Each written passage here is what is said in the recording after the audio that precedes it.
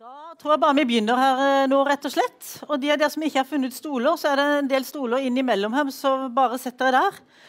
Og da er det jo veldig hyggelig å ønske velkommen til en ny klimafrokost her i dette lokalet, som vi har vært i i mange år, men som vi måtte ta en pause fra i, eh, under pandemien.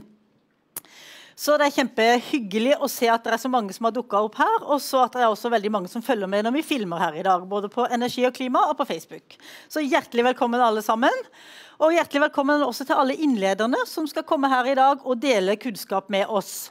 Og det vet vi jo eh, fra de siste tider, at eh, å dele kunnskap og være faktabasert og saklig, det er en god ting når man snakker om klima. Så det er veldig veldig kjekt at det er kommet saklige, skikkelige mennesker her i dag for å dele sin kunnskap og diskutere den etterpå. Så takk til dere.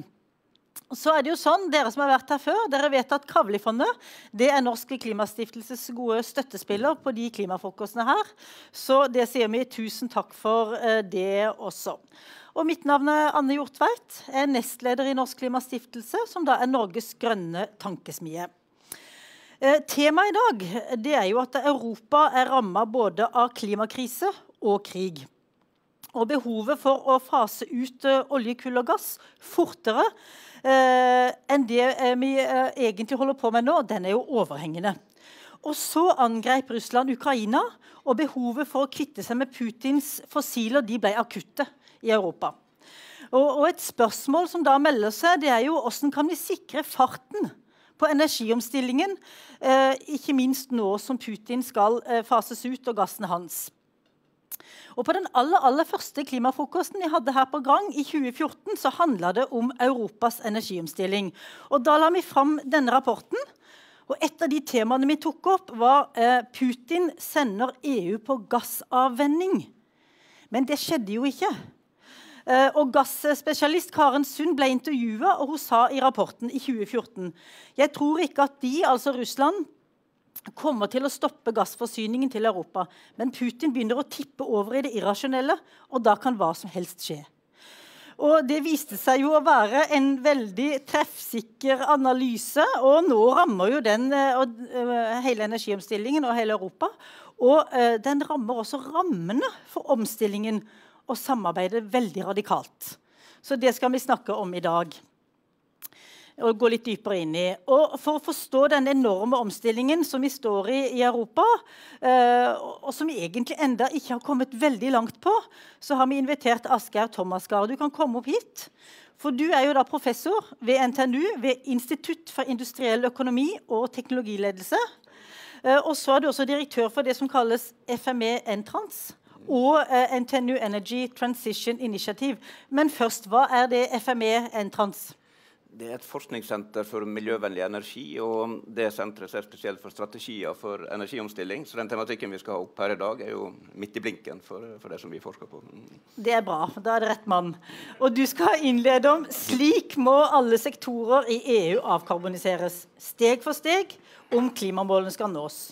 Og hvordan kan angrepet på Ukraina påvirke denne omstillingen?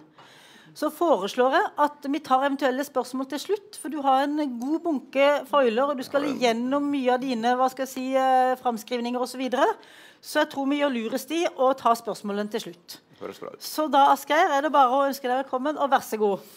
Takk for det. Og det var ingen liten oppgave som jeg hadde fått her, å ta både klimakrisen og krigen i Ukraina samtidig. og jeg må innrømme at vi har forska mest på klimakrisa og har kanskje mest kontroll på energiomstillinga kommer til å ta utgangspunkt kanskje aller mest i kraftsektoren. og se hvordan den kan være med å hjelpe til med omstillinga av, av, også de andre sektorene. Og I noen grad baserer oss på analyse vi har gjort sjøl, og i andre tilfeller på ambisjoner og analyse som, som andre har. Og øh, tenker at Noen av disse sakene kommer til å hoppe litt uh, raskere over, mens, mens, andre går litt mer i, i dybden på. Det har litt mer med hva vi har jobba mest med sjøl, og hva i hvilke tilfeller vi må referere mer til andre. Og så har ikke gjort veldig mye analyse på, på, krigen i Ukraina og hvordan det kommer til å påvirke, men jeg har gjort noen refleksjoner rundt det, så jeg kommer til å, å dvele med det på de plasser der jeg tenker at det passer. Så kan vi komme tilbake igjen til det også i spørsmåla. Så hvis vi tenker at vi begynner med kraftsektoren med uten karbonfangst og -lagring, som har litt å si for Norge, og så ser vi litt nærmere på bygninger, industri og transport eh, deretter.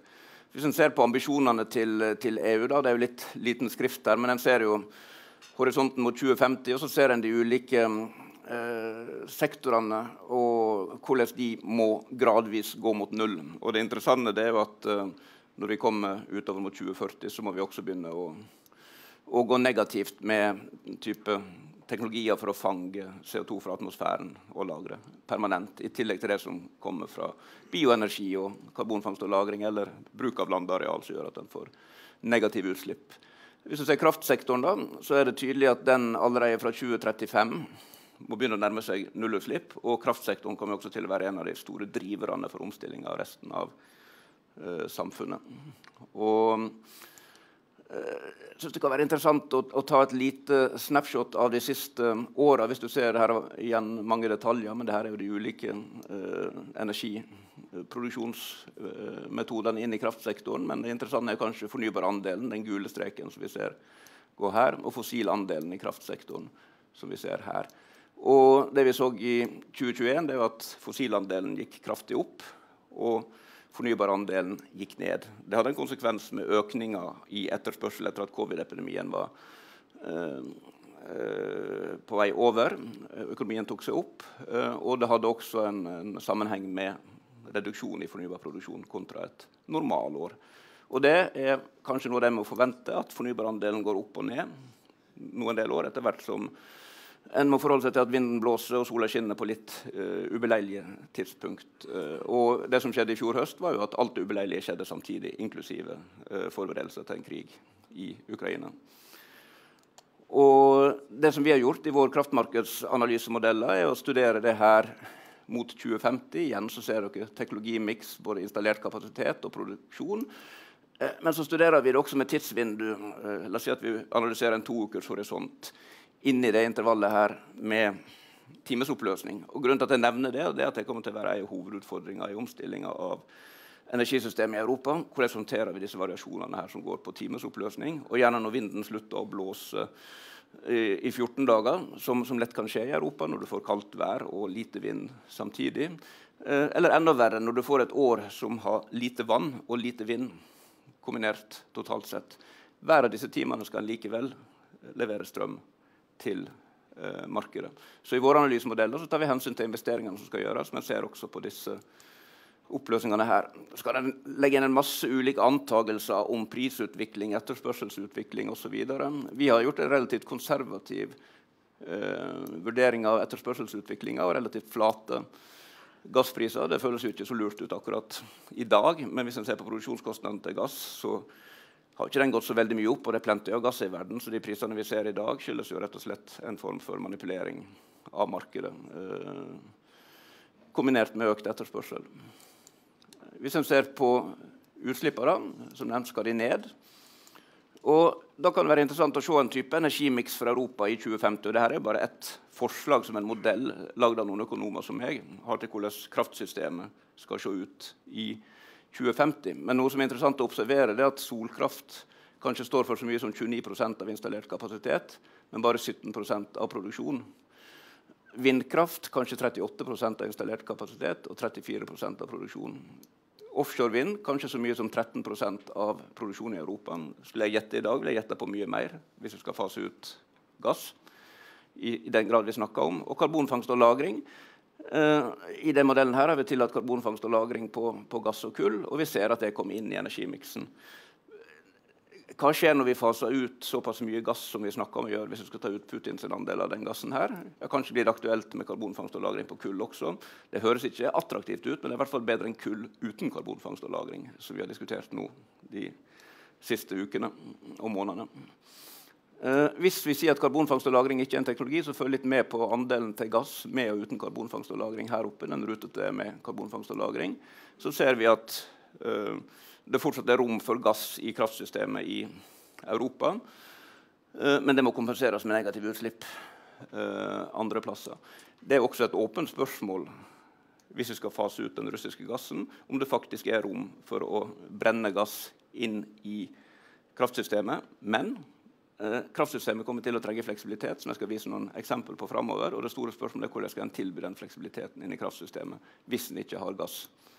Og eh, for meg er jo dette noe det vi må analysere nærmere nå fremover. Om utfasing av russisk gass vil reaktualisere karbonfangst og -lagring for kull og gass, eller om det vil gjøre det vanskeligere å få til uh, inn i kraftsektoren. Jeg tror vi trenger det i mange andre sektorer, men kraftsektoren er et stort usikkerhetsmoment.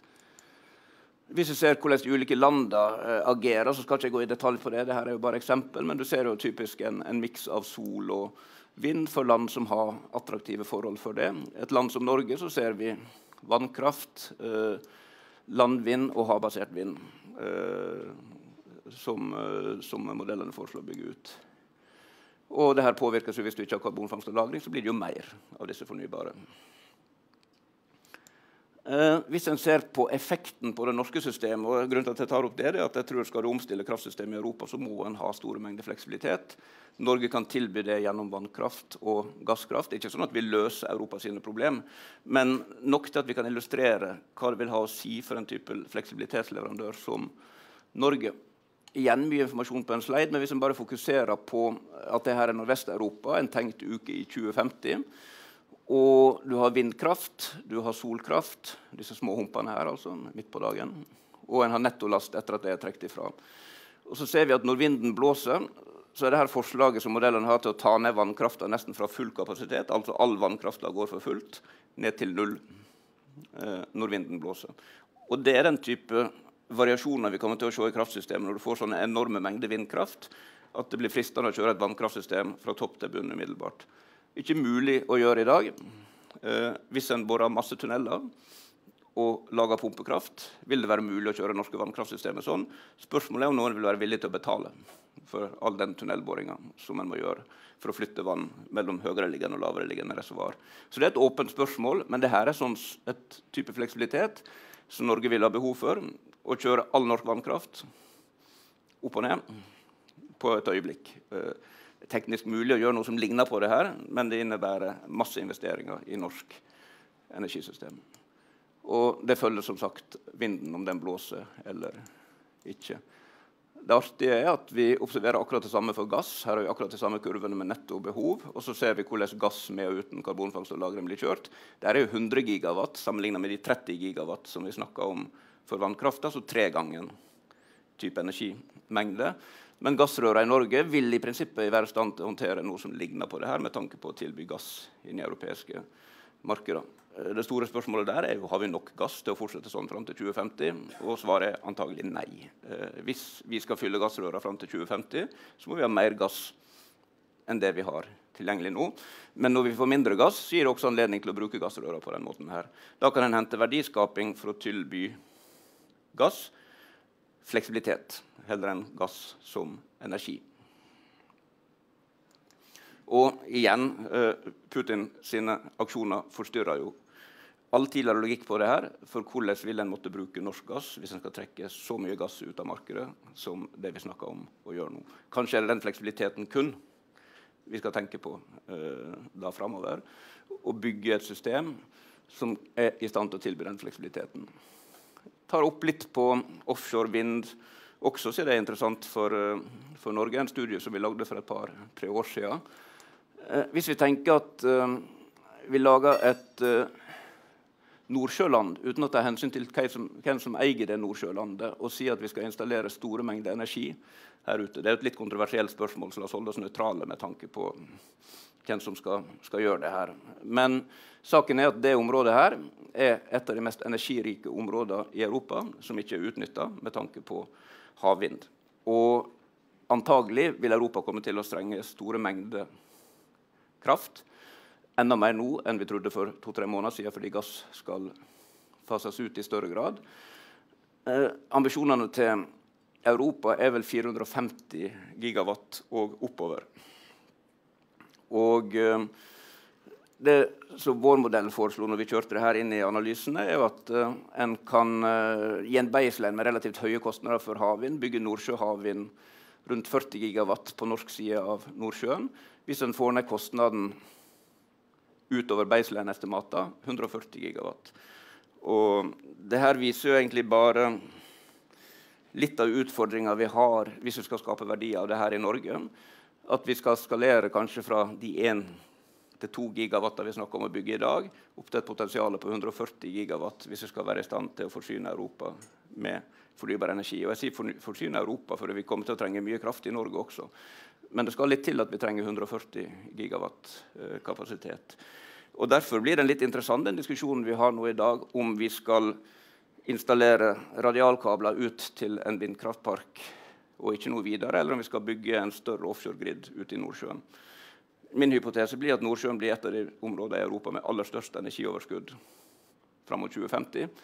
Det er et rart spørsmål om vi skal tilkoble oss den infrastrukturen eh, eller ikke, og om Norge sin del av den energiressursen skal skape verdiskapning for Norge eller ikke. Den største barrieren mot vekst i Norge i dag når vi putter det inn i våre økonomiske modeller, det er mangelen på ren kraft.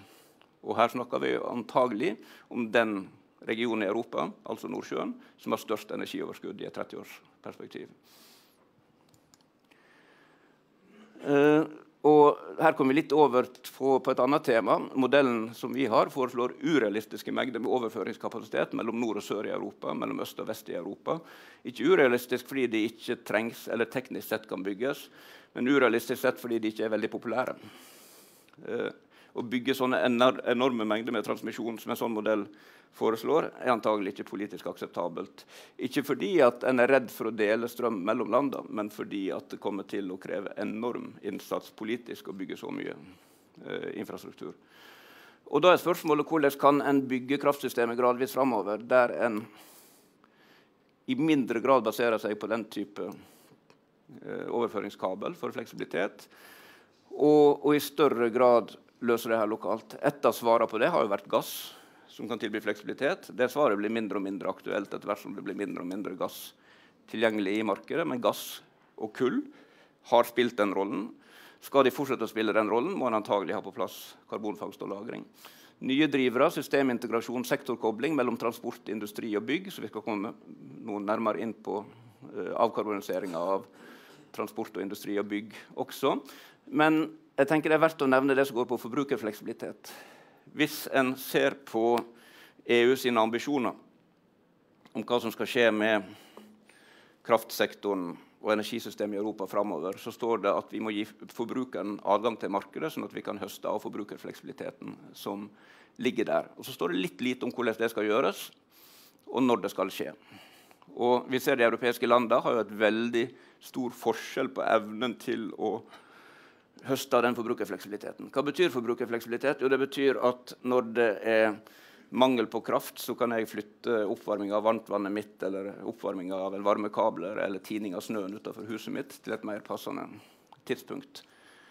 Uh, og det er jo noe som en kan gjøre på kanskje dagshorisont, to dagers. Lading av elbil et annet eksempel.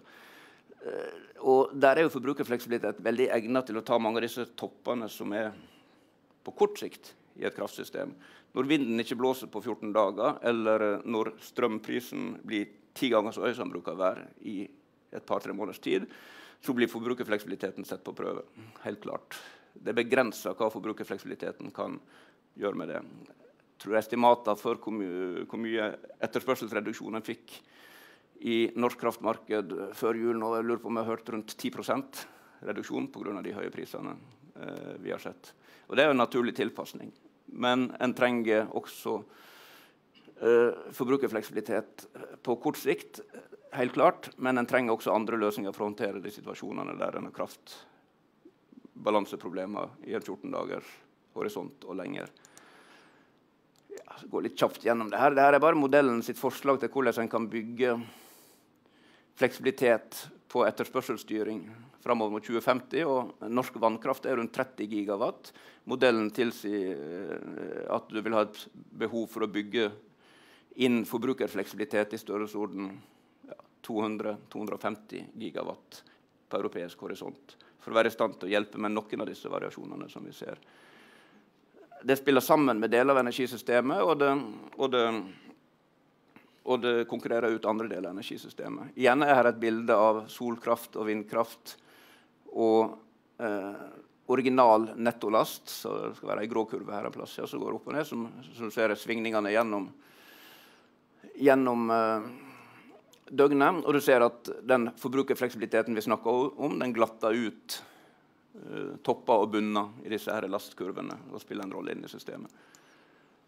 Jeg skal ikke gå inn i detalj på hvilke teknologier som blir komplementære og, og konkurrert ut av, uh, av forbrukerfleksibilitet, for jeg er veldig usikker på om, om uh, hva svarene er der. Jeg tror vi kommer til å trenge omtrent all type fleksibilitet vi ser. Gitt den nye situasjonen med utfasing av gass, så tror jeg at det er lite som kommer til å bli konkurrert ut, og vi kommer til å få bruk for veldig mye av det her. Hvis en ser sektorkobling eh, mellom varme og kraft, så begynner vi å gå litt nærmere inn på avkarbonisering av byggsektoren. Til og med i et land som Norge, der vi stort sett fyrer med elektrisitet, eh, så vil det være en verdi av å koble tettere det som skjer i oppvarming av bygg, og det som skjer i eh, kraftsektoren. Og da tenker jeg oppvarming av bygg som skjer på andre måter også enn elektrisitet. Jeg kan tenke at, uh, at uh, elektrisitet er en vare vi etterspør, og varme er en vare vi etterspør. Og det er klart Elektrisitet kan brukes til å produsere varme også, men varme kan også produseres på andre måter. Og Det er vel nøkkelen til å forstå omstillinga i europeiske byggsektoren også. At det er en viss fleksibilitet med å kunne spille mellom oppvarming av bygg og varmekapasiteten som ligger i bygg, f.eks. vil jo vann og, og, ha en varmelagringskapasitet som luft ikke har. Og, og materialer i bygg har en varmelagringskapasitet. Så når vi har leka litt med norske systemer med det her, så er det typisk en, en lastprofil for det norske systemet som er elektrisitetsspesifikk. Når vi sier at vi legger til det som går på oppvarmingsbehovet, både det som er elstyrt, og det som kommer utafor el, får vi en profil som det her. Og når vi da kjører det inn i våre kraftmarkedsmodeller, så ser vi at, um, at um, uh, i det tilfellet her så får vi uh, elektrisitetseksporten fra Norge. Så vi ser hvordan kan vi bruke norsk fleksibilitet i byggsektoren til å få et overskudd i kraftsektoren. Og det Kraftsektoroverskuddet kan selvfølgelig eksporteres, uh, som den modellen her foreslår, eller kan brukes inn til industri. Og det vi ser igjen, er at Den type mm, samspill gir en større grad av fleksibilitet. Jeg tror det er enklere å se hvis en ser på f.eks. Uh, fleksibilitetsbehovet en trenger for å uh, lade elbiler, der vi ser uh, egentlig disse store pikene nedover. Det er det er uh, situasjoner der en er nødt til å, å, å rett og slett redusere elbillading for å komme i mål med å møte tilbud og etterspørsel i kraftsystemet. Og når du har da det her koblinga mot varmesystemet, så vil du redusere den type effekttopper som er vanskelig å håndtere i et system. eh, kraftig.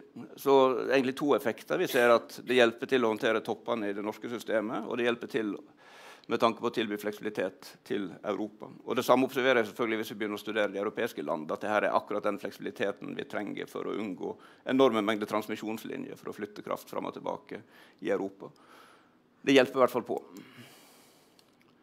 Så Hvis vi ser europeisk elproduksjon fram mot uh, 2050 her er jo en analyse som har tatt hensyn til akkurat det her samspillet mellom varme og kraft. Så ser vi at teknologier som uh, ja, Du ser jo egentlig en, en miks av alle typer teknologier, men du ser en dominering av vind, offshore og onshore. Og du ser solkraft. Uh, en får en liten indikasjon på hva som skal skje. Vi snakker om at vi har hatt en fornybar revolusjon hittil. Fornybar revolusjon har knapt nok begynt hvis systemet skal se ut som det her. Og Da trenger en det samspillet f.eks. med forbrenning av avfall, bioenergi øh, og så er det store spørsmålet hva gjør vi med fossilt? Blir det rom for kull og gass og karbonfangst og -lagring øh, inni et sånt system? Men det er vanskelig å tenke seg at den skal kunne levere fleksibilitet nok til å håndtere så store mengder fornybar uten at den har noe som kan planlegges inn i et kraftsystem, som f.eks. gass. Og eh, Der ligger også nøkkelen til den store usikkerheten vi nå ser i systemet framover, hvis vi skal fase ut 40% av Europas gass over en tiårsperiode. Uh, dekarbonisering av bygninger. Der tenkte jeg at jeg skulle lene meg litt på en rapport som The European Academy's uh, Science Advisory Council fikk lagd for et par-tre år siden på dekarbonisering av bygg. Arild Gustavsen er den som satt inn i arbeidsgruppa der fra Norge. Han leder Zero Mission Neighborhood-senteret. Og uh, for å oppsummere så står bygninger for 25% av klimagassutslippene i EU. Omtrent to tredjedeler av disse kommer fra boliger, en tredjedel fra næringsbygg. Og halvparten av utslippene produseres direkte på stedet ved å brenne fossilt brensel. Og det her vil jo falle etter hvert som fossilt brensel fases ut. Men hva snakker vi om når vi snakker om fossilt brensel i bygg i Europa? Vel, i mange tilfeller er det jo gass som går i en gassinfrastruktur og blir brent ute i bygga lokalt. Eller gass og, eller andre fossile drivstoff som blir brent i brenselskjeler, enten i et sentralvarmesystem eller lokalt. Og Det er klart at det høres jo enkelt ut å si at dette skal fases ut, men det ligger jo en infrastruktur i bunn som er bygd for å varme opp det her. Og skal du erstatte det her med elektrisk, så må det antagelig i mange tilfeller bygges ny elektrisk infrastruktur lokalt, eller problemet må løses lokalt. Hva betyr det å løse problemet lokalt? Vel, Det kan være solceller på taket, det kan være vindmøller som ligger eh, nær bebyggelsen vi snakker om. Men som dere så også i slidene mine tidligere, noe av den fleksibiliteten som skal til for å unngå å bygge massiv mengde infrastruktur, ligger nettopp i det samspillet mellom varmesystemet og kraftsystemet. Der er et samspill, selv om du varmer opp vann elektrisk. For vann lagrer energi. Men det er klart enda mer fleksibilitet hvis en også kombinerer med andre energibærere. Der har hydrogen vært nevnt. Uh, men det er ikke trivielt å erstatte gass i et uh, rørsystem i en by med hydrogen. Og jeg ser I Leeds i Storbritannia så kjører de jo eksempel med tone gas, der de blander hydrogen inn i naturgassen. og det blir interessant å følge med på hvordan de som pionerer eventuelt er i stand til å bruke hydrogen inn i oppvarming av hus til lavtemperaturvarme. Skal vi se om vi kommer oss, videre. Uh, ja, invester raskt for 2030, men også for lengre sikt. Det vel rådet den rapporten gir. Uh, Invester i alternativ som en ikke kan unngå, og stopp subsidier til fossilt brensel. Bruk offentlige penger til fornybar energi og bærekraftig infrastruktur investere i planlegging av nettverk, uh, både land- og sjøbaserte anlegg for el, og unngå stranded assets, så det vil begrense investeringer i infrastruktur for gass. Uh, og Der ligger det lille forbeholdet om gjenbruk til hydrogen. Investere i karbonsluk, treverk i bygninger, ikke brenn tre med lang tilbakebetalingsperiode. Og unngå overforenkla tolkning av karbonnøytralitet. Og det handler vel også om brenning av hele tre og den type aspekter når vi snakker om bioenergi. Fase ut fossilt brensel raskt. Det får vi uh, tro går enda raskere nå. Bruk tilskudd og insentiver for å utlyse uh, og utnytte og redusere, og redusere, risiko for privat finansiering. Uh, reguler nivået av bundne klimagassutslipp i materialer. Revider byggeforskrifter. Fremme helse og velvære ved å doble hastigheten på renovering. Det kommer til å være kapitalintensivt. Jeg tror at noe av det som en må tenke på her, det er hvordan en kan tilby finansieringsordninger til vanlige folk uh, og bedrifter når disse investeringene skal gjøres. Mye av dette vil være lønnsomt på lang sikt, men vanskelig å finansiere på kort sikt. Det vil være imperfeksjoner i et sånt marked som politikerne må adressere. La offentlige myndigheter og byer vise vei. Det ser vi jo i Norge med storbyene sin rolle i hvordan en driver omstilling av samfunnet. Vi kommer til å se det samme i Europa. Uh, igjen så er spørsmålet det er ikke til å unngå at befolkninga får regninga til slutt. Det er jo sånn samfunnet er bygd opp. Men hvordan kan en glatte ut det her, sånn at det ikke blir ubehagelig på, på, kort sikt? Hvordan kan en bruke den styrken som ligger i sterke stater og EU, til å gjøre det her overkommelig for befolkninga? Uh, ja, data og lovgivning, uh, tradisjonelle punkt. Se litt på tida, så vi får litt tid til å snakke om transport og og industri også. Men eh, jeg tror nok at Fit for 55 ser mye på dekarbonisering av varmesektoren og hvordan dette skal eh, oppnås gjennom distriktoppvarming og nedkjøling. Men eh, det som har blitt reaktualisert, er jo også elektrifisering og bruk av varmepumpe i elektrifiseringa. Eh, det vil jo ikke løse problemet men det vil, eh, med, med topplaster, eh, f.eks., sånn som i, i, Norge. Men det vil ta ned det totale elforbruket i byggsektoren. Og det kommer til å være essensielt eh, også i Europa. Og jeg ser at det er et av virkemidlene som blir nevnt nå når en skal håndtere utfasing av gass på, på kortere sikt. Eh, dekarbonisering av høytemperatur varme for industrier vil kreve nye energibærere som hydrogen. Uh, avkarbonisering av uh, industri vil antagelig trenge karbonfangst og -lagring uansett. Kanskje den kombinasjonen er interessant. Uh, og Bioenergi blir også nevnt i den sammenhengen, men spørsmålet er hvor lenge kan vi fortsette å brenne begrensa bioressurser i forbrenningsprosesser, når det kommer til å være en veldig verdifull ressurs i åra framover avkarbonisering av industri. Jeg tenkte jeg skulle snike meg unna mange av problematikkene der med å oppsummere alt på én slide. stort sett. Eh, det er jo ikke trivielt i og med at alle industriprosesser har forskjellige egenskaper. Hvis en ser litt prinsipielt på det, så har du mekanisk arbeid i en industriprosess. Du må fjerne utslippene fra det mekaniske arbeidet, altså løfte, flytte, bearbeide ting. Eh, du har lavtemperaturvarme du har høytemperaturvarme, der f.eks. hydrogen kan være et glimrende virkemiddel. Når du brenner hydrogen, så produserer du ikke CO2. Og du har industriprosesser som kan endres. F.eks. stålproduksjon kan produseres ved hjelp av hydrogen og redusere utslippene på den måten. Løsninger inkluderer karbonfangst og -lagring, energieffektivitet, elektrifisering. Eh, skifte energibærer, f.eks. til bioenergi eller hydrogen eller ammoniakk. Og nye prosesser og nye materialer.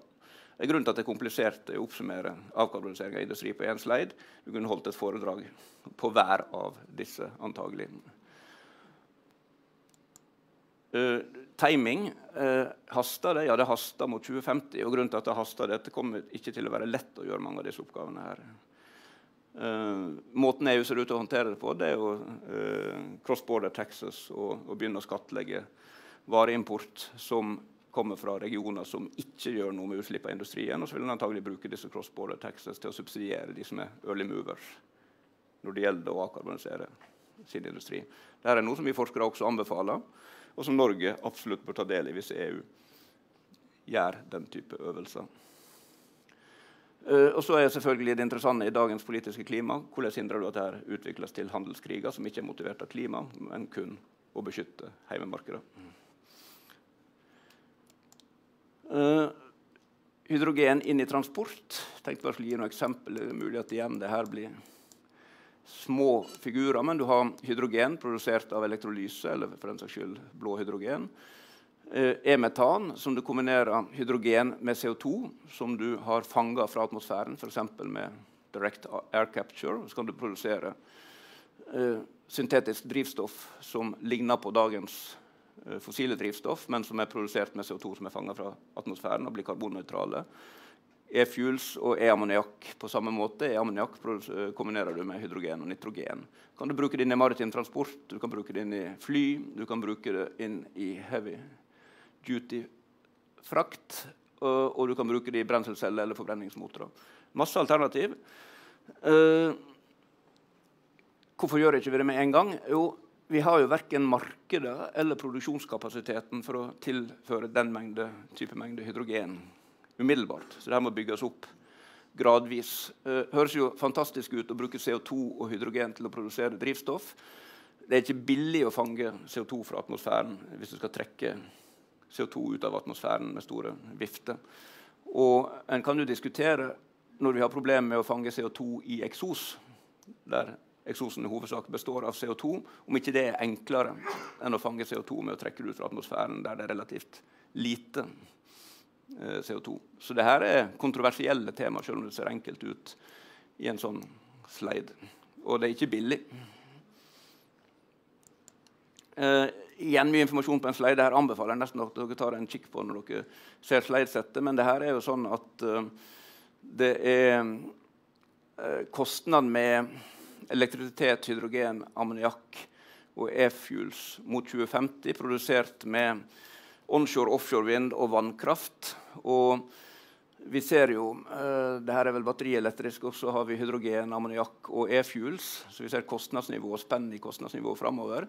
Disse kurvene her er vel mest interessante og illustrerende. Her er vel dagens prisnivå for, for uh, det er vel flytransport, uh, tungtransport og båttransport. Og vi ser at disse nye teknologiene gradvis mot 2050 kan nærme seg det prisnivået vi har i dag med fossilt drivstoff.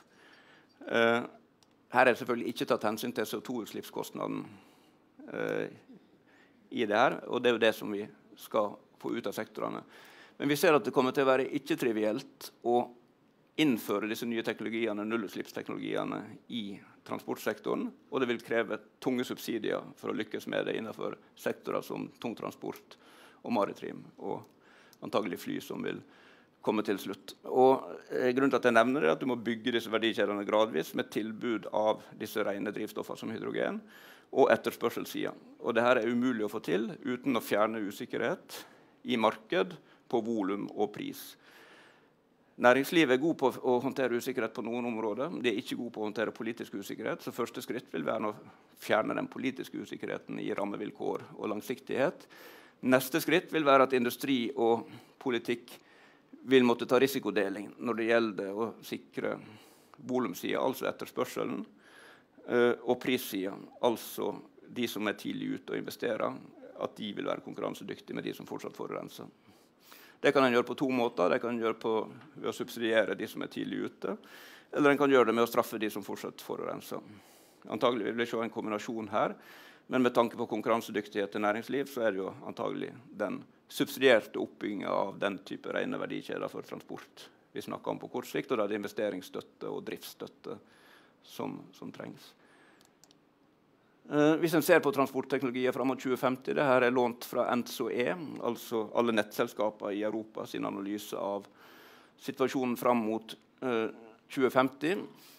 Ulike scenarioer, distribuert energi, globale ambisjoner. Uh, to ulike måter å gjøre det her på, men du ser på passasjerbiler og heavy trucks, så ser du når vi nærmer oss 2050, at uh, batterielektrisk er tenkt å spille en rolle. Uh, Fuelcelleteknologier og hydrogen, metan, altså naturgass, og hybrider og forbrenningsmotorer. Uh, og du ser en litt annet bilde i den her, med et stort fokus på, uh, på, på passasjerbiler. Så ser du Eh, at batterielektrisk uh, antagelig kommer til å dominere. Og så er det her NCE sine anslag. Spør du andre, så vil de si at hydrogen har allerede tapt tanken når det kommer til heavy duty, kampen når det kommer til heavy duty trucks. Batteri kan fikse også det. jeg tror tida vil vise. Jeg tror det her kommer til å være en konkurranse som ikke har en vinner. Jeg tror at det er vanskelig å få til nullutslipp i transportsektoren uten å bruke en miks av teknologier, nettopp fordi vi trenger den fleksibiliteten som er sånn i manko når du skal inn med sånne enorme mengder fornybar energi som vi har snakka om her. Og da tenker jeg at En tar ikke en veldig stor risiko hvis en i parallell bygger ut ulike verdikjeder for å forsyne f.eks. For tungtransport og maritim transport med de teknologiene som trengs for å gå i nullutslipp. Og jeg er ikke redd for at vi kommer til å få for mange teknologier som skal lede oss til nullutslipp. Skal vi se, Her har vi eh, egentlig litt tilbake igjen til start. Eh, energietterspørselen. Hvordan ser den for seg i disse scenarioene? Der er vel det Global Ambition-scenarioet. At den kommer til å se ut i framtida. Eh, elektrisitet. Noe sånt som 3000 TWh i Europa. Hydrogen, og det følger litt med på det tallet der, for neste slide vil, vil bli forvirrende. Hydrogen. Store mengder hydrogen når du ser på energien. Fortsatt naturgass interessant å se om vi klarer å skaffe den type mengde naturgass. Um, og vi har væske, biomasse uh, og andre. Hvis vi ser på Global Ambition, var det vi så på i 2050, og vi ser på den totale kraftproduksjonen, så ser vi at på forrige slide lå den på 3000 eh, TWh eller der omkring. Her ligger den på oppunder 7000 TWh. Men så står det noe med liten skrift 'including eh, prosumer, PV, hybrid and dedicated dress for electrolysis'. Eh, du skal produsere store mengder hydrogen. Og i de analysene her så tenker jeg at det skal skje ved hjelp av elektrolyse. Og det peker bare litt på utfordringa vi står overfor, tenker jeg nå. Hvis du tenker at vi til dagens type bruk trenger 3000 TWh eller mer av kraft.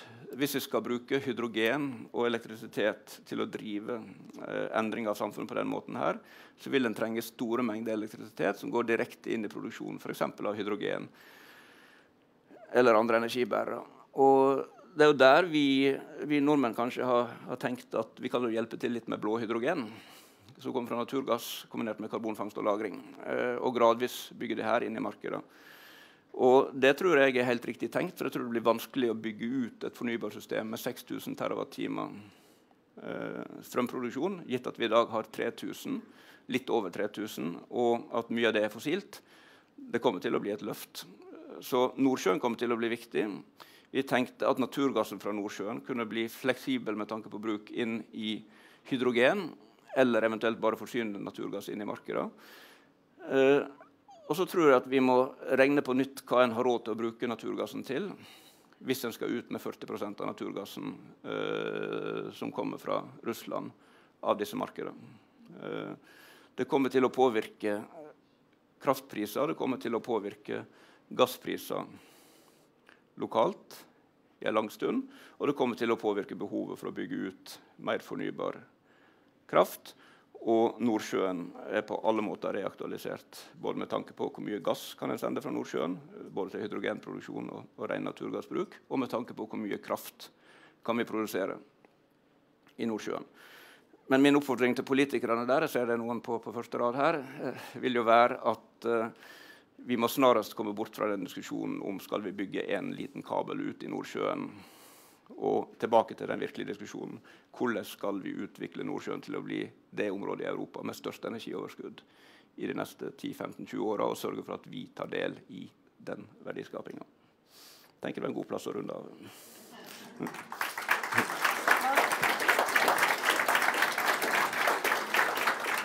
Takk skal du ha, Asgeir. Vi, eh, vi, rekker ett spørsmål hvis noen har det. Og hvis ingen har det nå, så blir jo du her fram til eh, vi avrunder klokka ti. Da kan vi også ta det da. Så da var det ett spørsmål. Du må være veldig kort.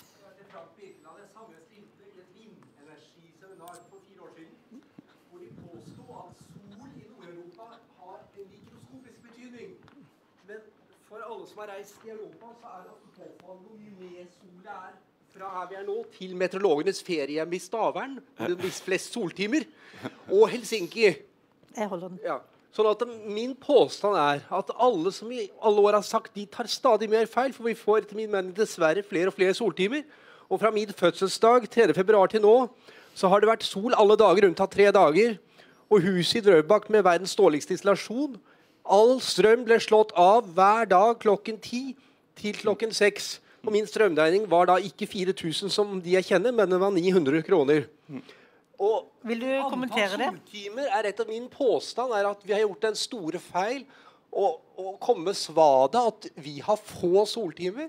Og min påstand er at fra ca. 15.2 til 15.10 så har vi mer potensial med solenergi her enn f.eks. rundt Hamburg, hvor det er mye mer lavtrykk. Nederland det er mange flere soltimer i Helsinki-området og i Oslofjord-området enn i store deler av Europa. Og det er totalt sett bort fra det potensialet som vi kunne benyttet både i småskala privat og i storskala. Vi kommer tilbake til solenergi om litt, men Asgeir, vil du si noe der i to sekunder om solenergi? Jeg kan ta et veldig kort, kort svar. Det, vel, Hamburg er ikke blant de beste områdene i Europa når det gjelder innstråling av sol. For, for, å si det sånn. Og eh, Likevel så vil jeg si at eh, både områder som Norge og Hamburg det er et potensial for solenergi der. Ja, og det har vel også vært undervurdert. Så Fint å sette søkelys på det. og Vi får jo et foredrag etterpå om solenergi. Men Asgeir, du kan sette deg. Tusen takk. Tusen takk. Det var én ting som slo meg da du uh, snakka. Uh, og det var det at man trenger veldig mye kompetanse. Jeg har fire barn sjøl, så jeg tenker her er det mye jobb som skal gjøres. og de er sikra jobb. Uh, og så trengs det mye kapital som man må være fleksibel med. I tillegg så trenger man jo besluttsomme politikere. Uh, som ikke er fastlåst i sine holdninger og sin politikk. For når så mye skal endres, da må man jo da kan man ikke være veldig fastlåst i sin politikk. Så det tror jeg fremtidens politikere må være Gode til å samarbeide, besluttsomme og fleksible, egentlig. Sånn var det jeg leste ut av det du sa her, uh, Asgeir. Men det skal vi komme tilbake til, for nå skal vi en tur til Brussel. Og da kan vi jo få inn uh, Alf Ole Ask, som er vår korrespondent i Energi og klima på vårt uh, Brussel-kontor der. Nå ser jeg du er kommet opp, uh, Alf Ole. Du, skal, nemlig, du begynte jo hos oss i fjor i Energi og klima, vår nettavis, som Brussel-korrespondent. og begynte der i sånn juli-august. Og det har vært full fart og mye å gjøre siden den gang. Og det du skal være med og snakke om her nå, det er å redegjøre litt for hvilke grep EU nå gjør for å sikre tempoet i, i um, energiomstillingen når den fossile handelen med Russland gradvis nå skal fases ut. Så Alf Ole, kan du først redegjøre kort for EUs planer om hvordan de skal nå Paris-målene? For det ligger jo til bunn for, for, det meste her. Nå må vi prøve å få lyd på Alf Ole. Bare vent litt, Alf Ole. Vi har ikke lyd på det riktig ennå.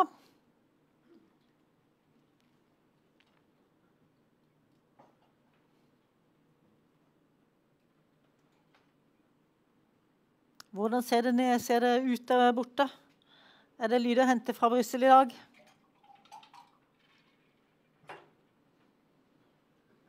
Hvis ikke det er lyd å hente i løpet av noen sekunder nå, så tror jeg bare vi går løs på neste innledning, så får vi Alf Ole etterpå. Så da kan jo du gjøre deg klar, Julie. Ja, jeg tror vi gjør det sånn. For de to timene her går så fort, sånn at vi kan jo ikke drive og surre med lyden akkurat nå. Tar, vi tar inn Alf Ole eh, etterpå. Og hvis ikke vi rekker det, så eh, får vi ha den til gode. Um, han er jo hos oss uansett. Men eh, vi begynner rett og slett med deg. Men, men uh, kan vi da gjøre det sånn jeg skulle bare, Før du kom i gang, så skulle jeg gjerne bare vist to foiler. Kan jeg få opp de, Tom? De to foilene som jeg skulle hatt inn jeg skal eh, snakke med Julie. Ja det, jeg var på et seminar hos Novea i går, og der viste de den interessante foilen der. Det er altså DNV som har eh, laga den. Og her ser dere at man ser for seg at Norge har et sannsynlig strømunderskudd fra rundt 2026 til 2035. At vi rett og slett er nødt til å importere. Det ligger i de analysene fra DNV. Fordi vi har vært så trege med å bygge ut mer fornybar kraft. Så kan vi ta neste foil. Eh, som er den. Det er sida til Statnett, som min kollega Bjartnes eh, tipsa meg om i går. Dette er sida fra Statnett. Der du hele tida kan gå inn og se, dere som er interessert, hvor mye som selges og kjøpes uke for uke mellom Norge og landene det går kabler til. Og eh, dere ser, Nå har jeg tatt uka fram til og med 25. april, til og med i går. Og hva ser man der? Eksport og import kan dere se der på sida. Bare gå inn for hver uke dere vil i hele året og se. Sånn at dette går begge veier. Forrige uke da eksporterte vi mer. Uka før der importerte vi mer. Så dette går jo begge veier, og dette kan jo du alt om, Julie, som jobber i Statkraft. Så jeg hadde bare lyst til å vise de før du eh, setter i gang. Du eh, har jo jobba i Statkraft ganske lenge. Og det er jo rett og slett eh, Europas største produsent av fornybar energi enn så lenge. Og der er du Hallo, rett og slett Hallo, hører du meg? Ja, nå får vi, fikk vi med Alf Ole. Nei, men Det er så fint at du kan komme. Da tror jeg vi bare går løs på Alf Ole. Du kan bare stå her. Du kan eh, sette deg også hvis du vil det. Uh, Alf Ole, hører du meg nå? Ja, jeg hører deg. Jeg ja, men så fint. Tiden, Dette var liksom ja. første gang vi skulle ha med Brussel-korrespondenten. Og så gikk det liksom to minutter før vi fikk det til, men nå kan vi det. Um, du skal først redegjøre kort Alf Ole, for EUs planer om hvordan man skal nå Paris-målene. For det ligger jo til grunn for, eh, ja, for alt som skal skje de neste årene. Ja, Det korte svaret på det er jo denne Fit for 55, denne store lovpakken som nå medlemslandet og Europaparlamentet forhandler om. Eh, som er en 12-15 lover, forordninger, direktiver.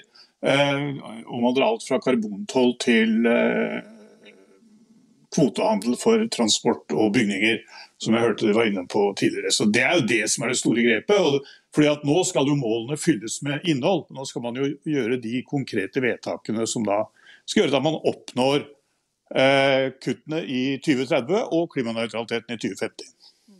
Men så har jo dette akutte oppstått. altså 40, 40 av gassen og rundt 25% av olja som brukes av EU-landene per i dag, de kjøpes jo fra Russland.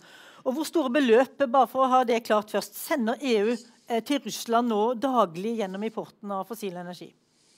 Ja, Det avhenger jo litt av prisene. da, men en sånn så kan vi si at det er omkring 1 milliard euro, som da vel nå er ca. 9 milliarder kroner, eh, på det meste eh, som har gått i døgnet.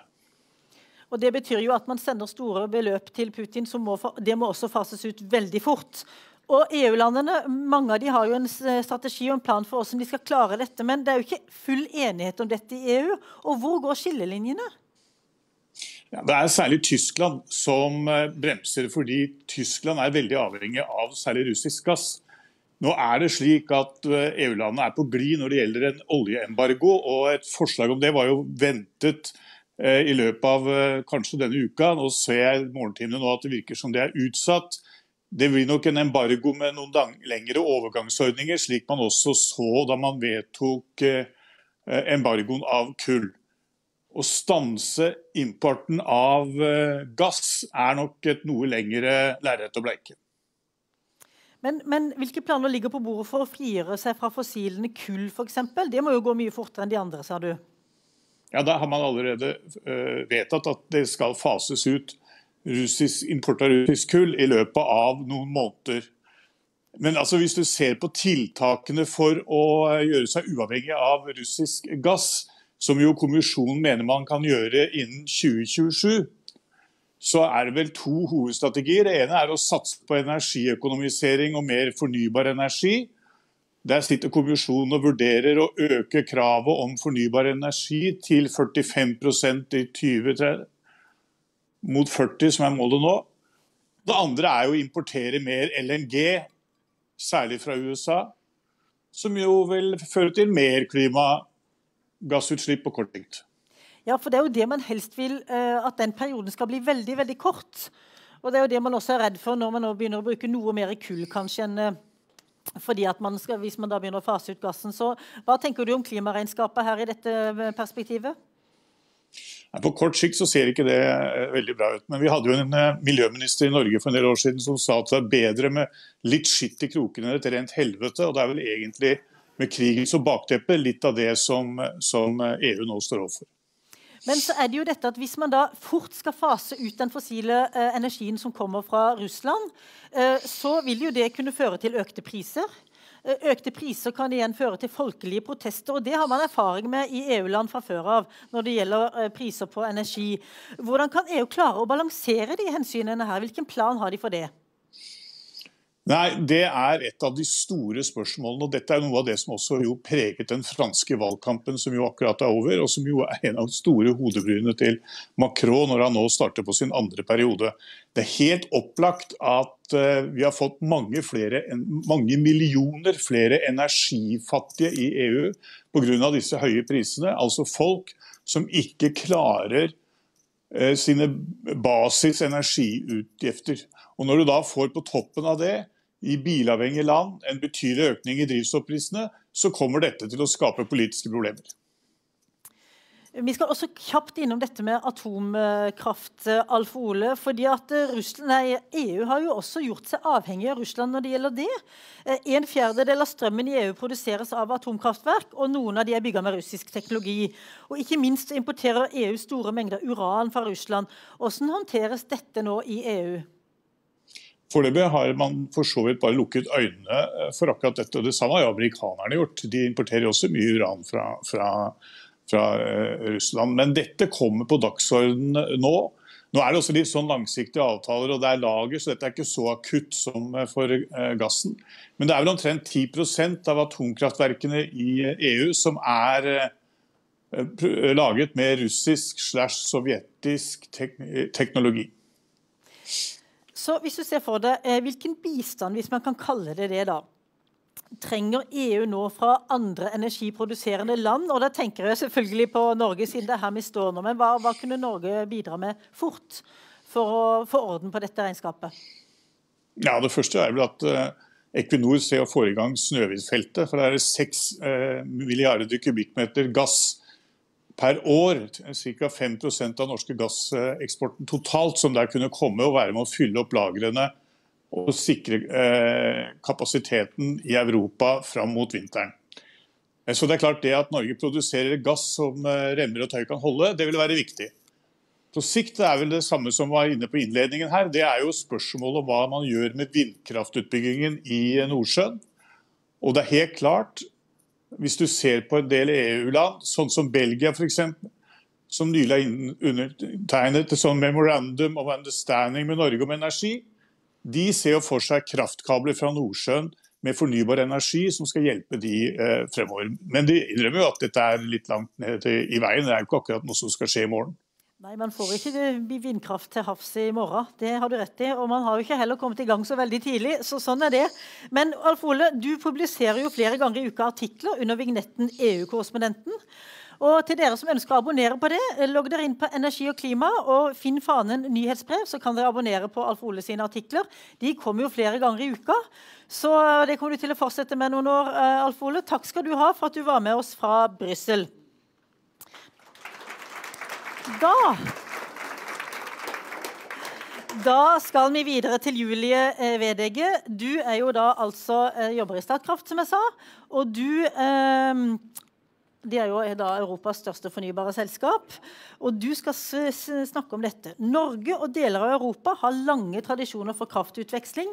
Kan og bør samarbeidet og krafthandelen utvides? Hva er potensialet for at Norge da kan spille en større rolle?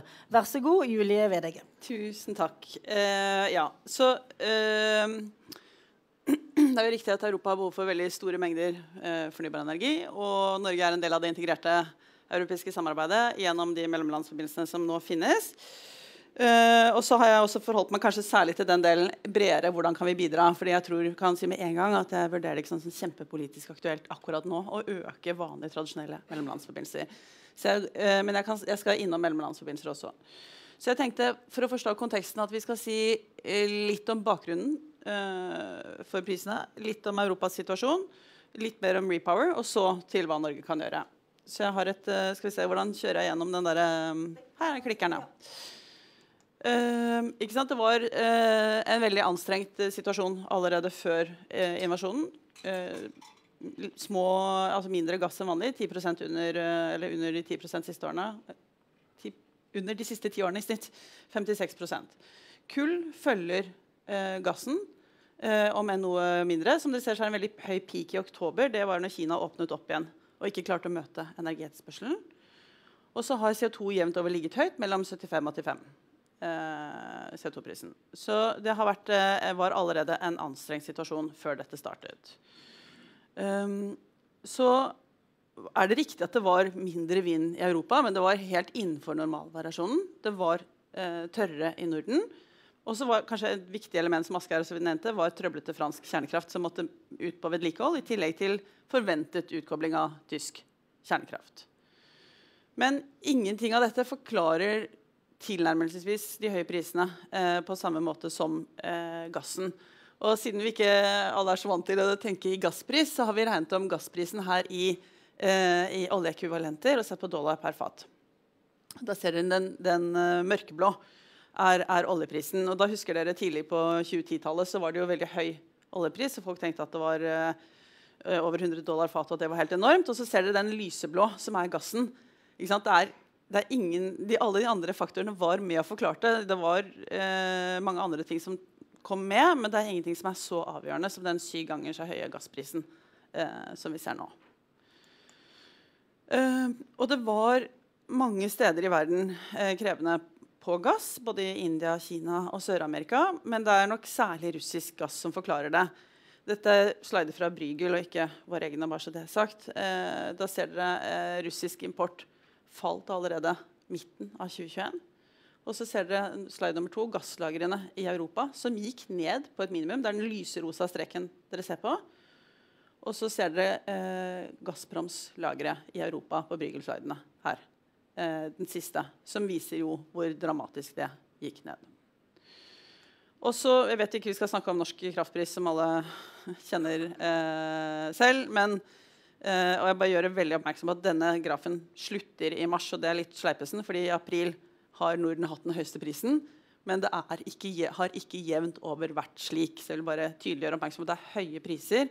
Eh, men de er ikke veldig høye i en europeisk sammenheng. Det er en veldig mager trøst, og det er jeg klar over, men jeg sier det likevel. Ikke sant? Så er dette, dette er situasjonen. Vi må finne noen måter å diversifisere på. og som Anne sa, så er det både olje eh, og kull vi er avhengig av, men det er kanskje særlig gassen Europa må fase ut. Eh, og så har de valgt å gjøre dette gjennom den såkalte Repower Europe-pakken, som kom nå. Og den skal jo redusere avhengigheten av russisk gass, ikke olje eh, og, og kull. Eh, og det skal den gjøre med to tredeler denne vinteren eh, og gjøre Europa uavhengig to tredeler. Og så har de valgt da, som Alf Ole sa, eh, økt import av LNG, diversifisering, energieffektivisering og også en opptrapping av fornybar energi. Men da gjenstår det 50 BCM som skal tas neste årene. Og det må i hovedsak skje ved en ganske rask akselerering av fornybar energi.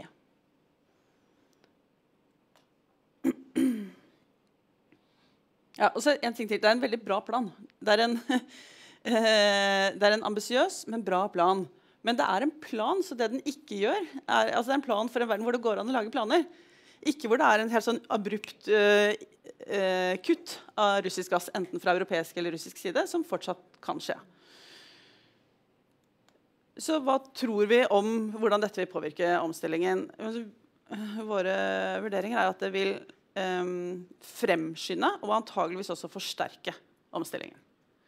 Um, og så, så, er det jo klart at Europa diskuterer nå om man skal øke uh, fornybarmålet. Uh, og det uh, kommer nok til å skje. Et lite øyeblikk. Skal jeg bare, var dumt at jeg ikke hadde med huskelappen min. um, og så er det slik at man vil få mer kull Vanskelig å skrive passord mens jeg snakka. Det kjente jeg. Dere må gi meg ett sekund nå. Jeg klarer ikke, selv om jeg er kvinne, å gjøre to ting på en gang. Um, ikke sant? Det er, det er, riktig at det kanskje blir en, at man er mer forsiktig med å fase ut fossil, men vi tror også at selv om man vil ha fossilkapasitet, så er det ikke sikkert at man vil bruke den. Man vil ha den, men, men avhengig av CO2-prisen om du faktisk vil kjøre den. Så det er ikke sikkert at det vil føre til økte CO2-utslipp. Og så ser vi på en måte at flere land velger en, en opptrapping fra allerede høye mål, eh, som med Tyskland her. Eh, som også satte seg et mål for, nytt mål, eh, høyt mål for onshore vind i tillegg nå ved påskepakken. Opp til 80 Vi ser at UK også har økt nå siste tiden. ikke sant?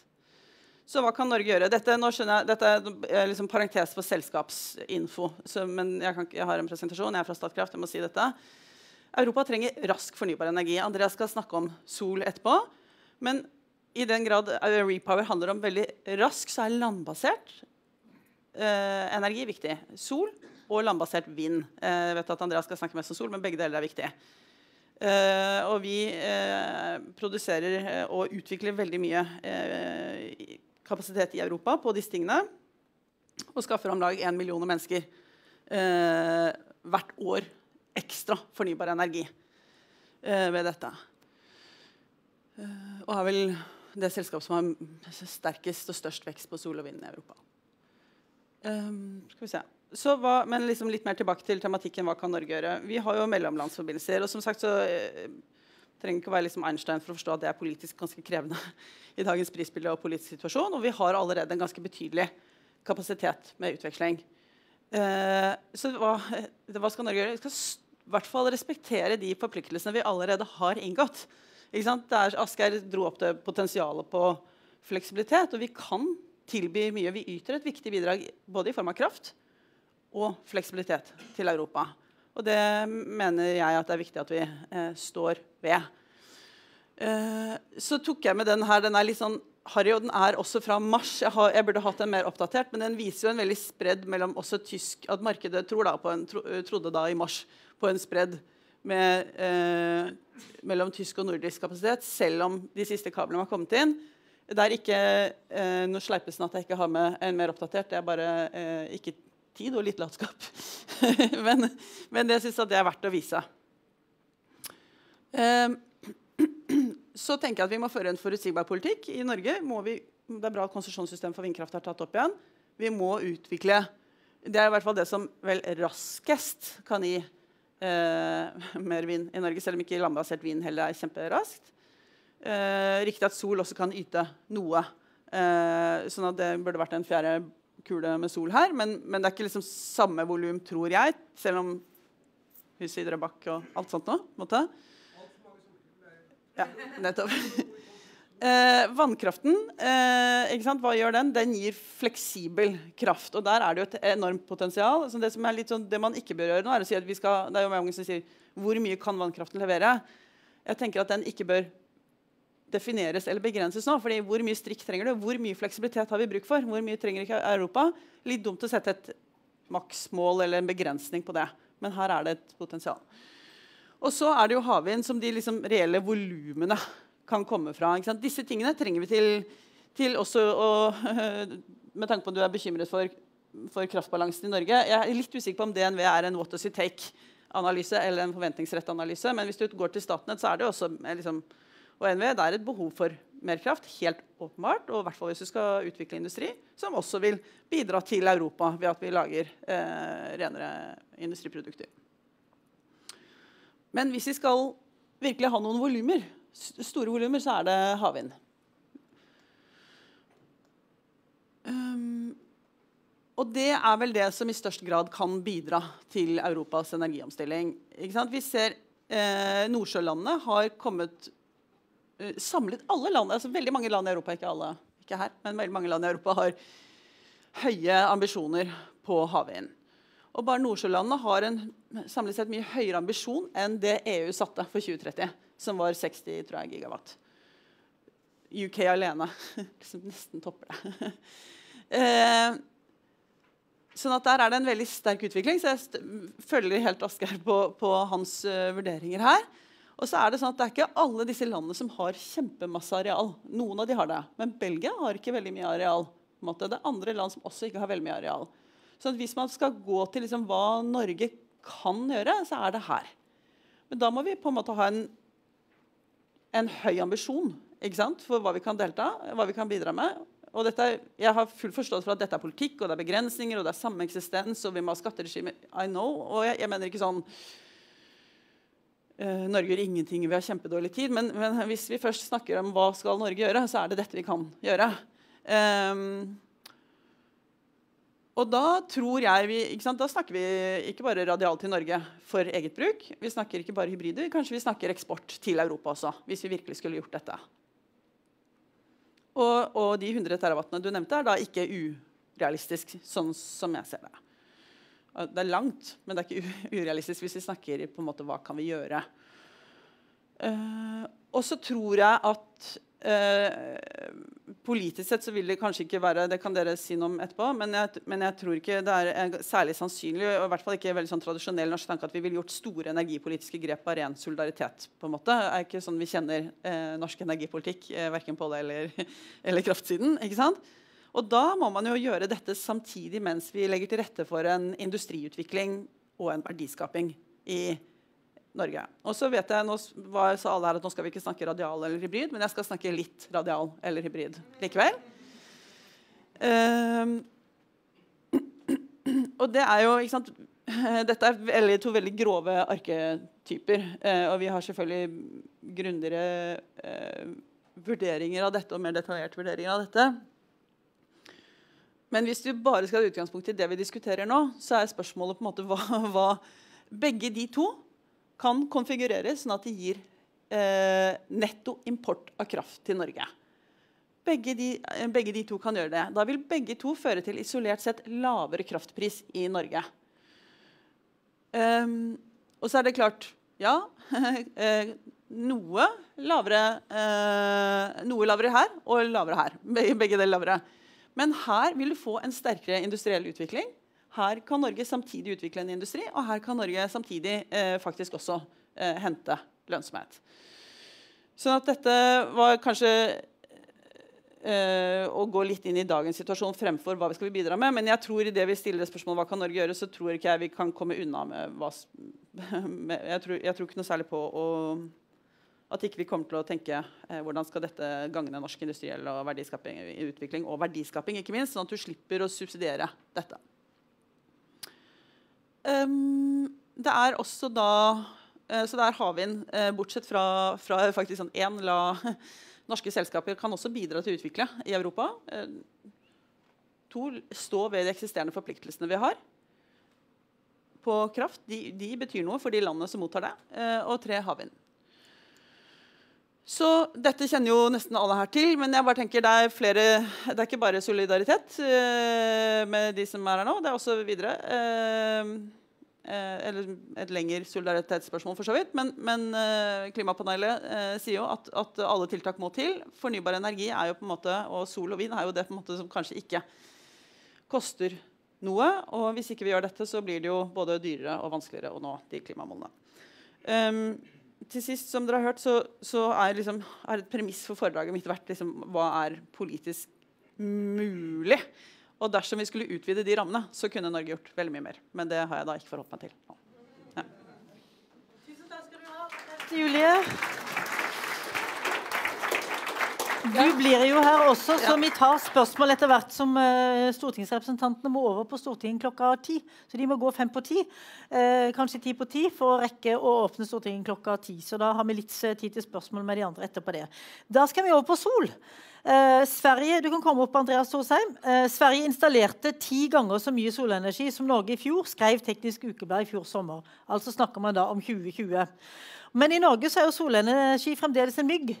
Eh, nå skylder jeg å gjøre bekjent at jeg har kjøpt solenergi av Andreas Thorsheim for fem år siden. Så, så da vet dere det. Men eh, det er sånn det er. Jeg var din første kunde. Det, det gjentar jeg hver gang til det kjedsommelige. Det er litt takknemlig for så, hvilken politikk eh, trengs da for rask skalering? For å få solenergi mer i driv i Norge og Europa.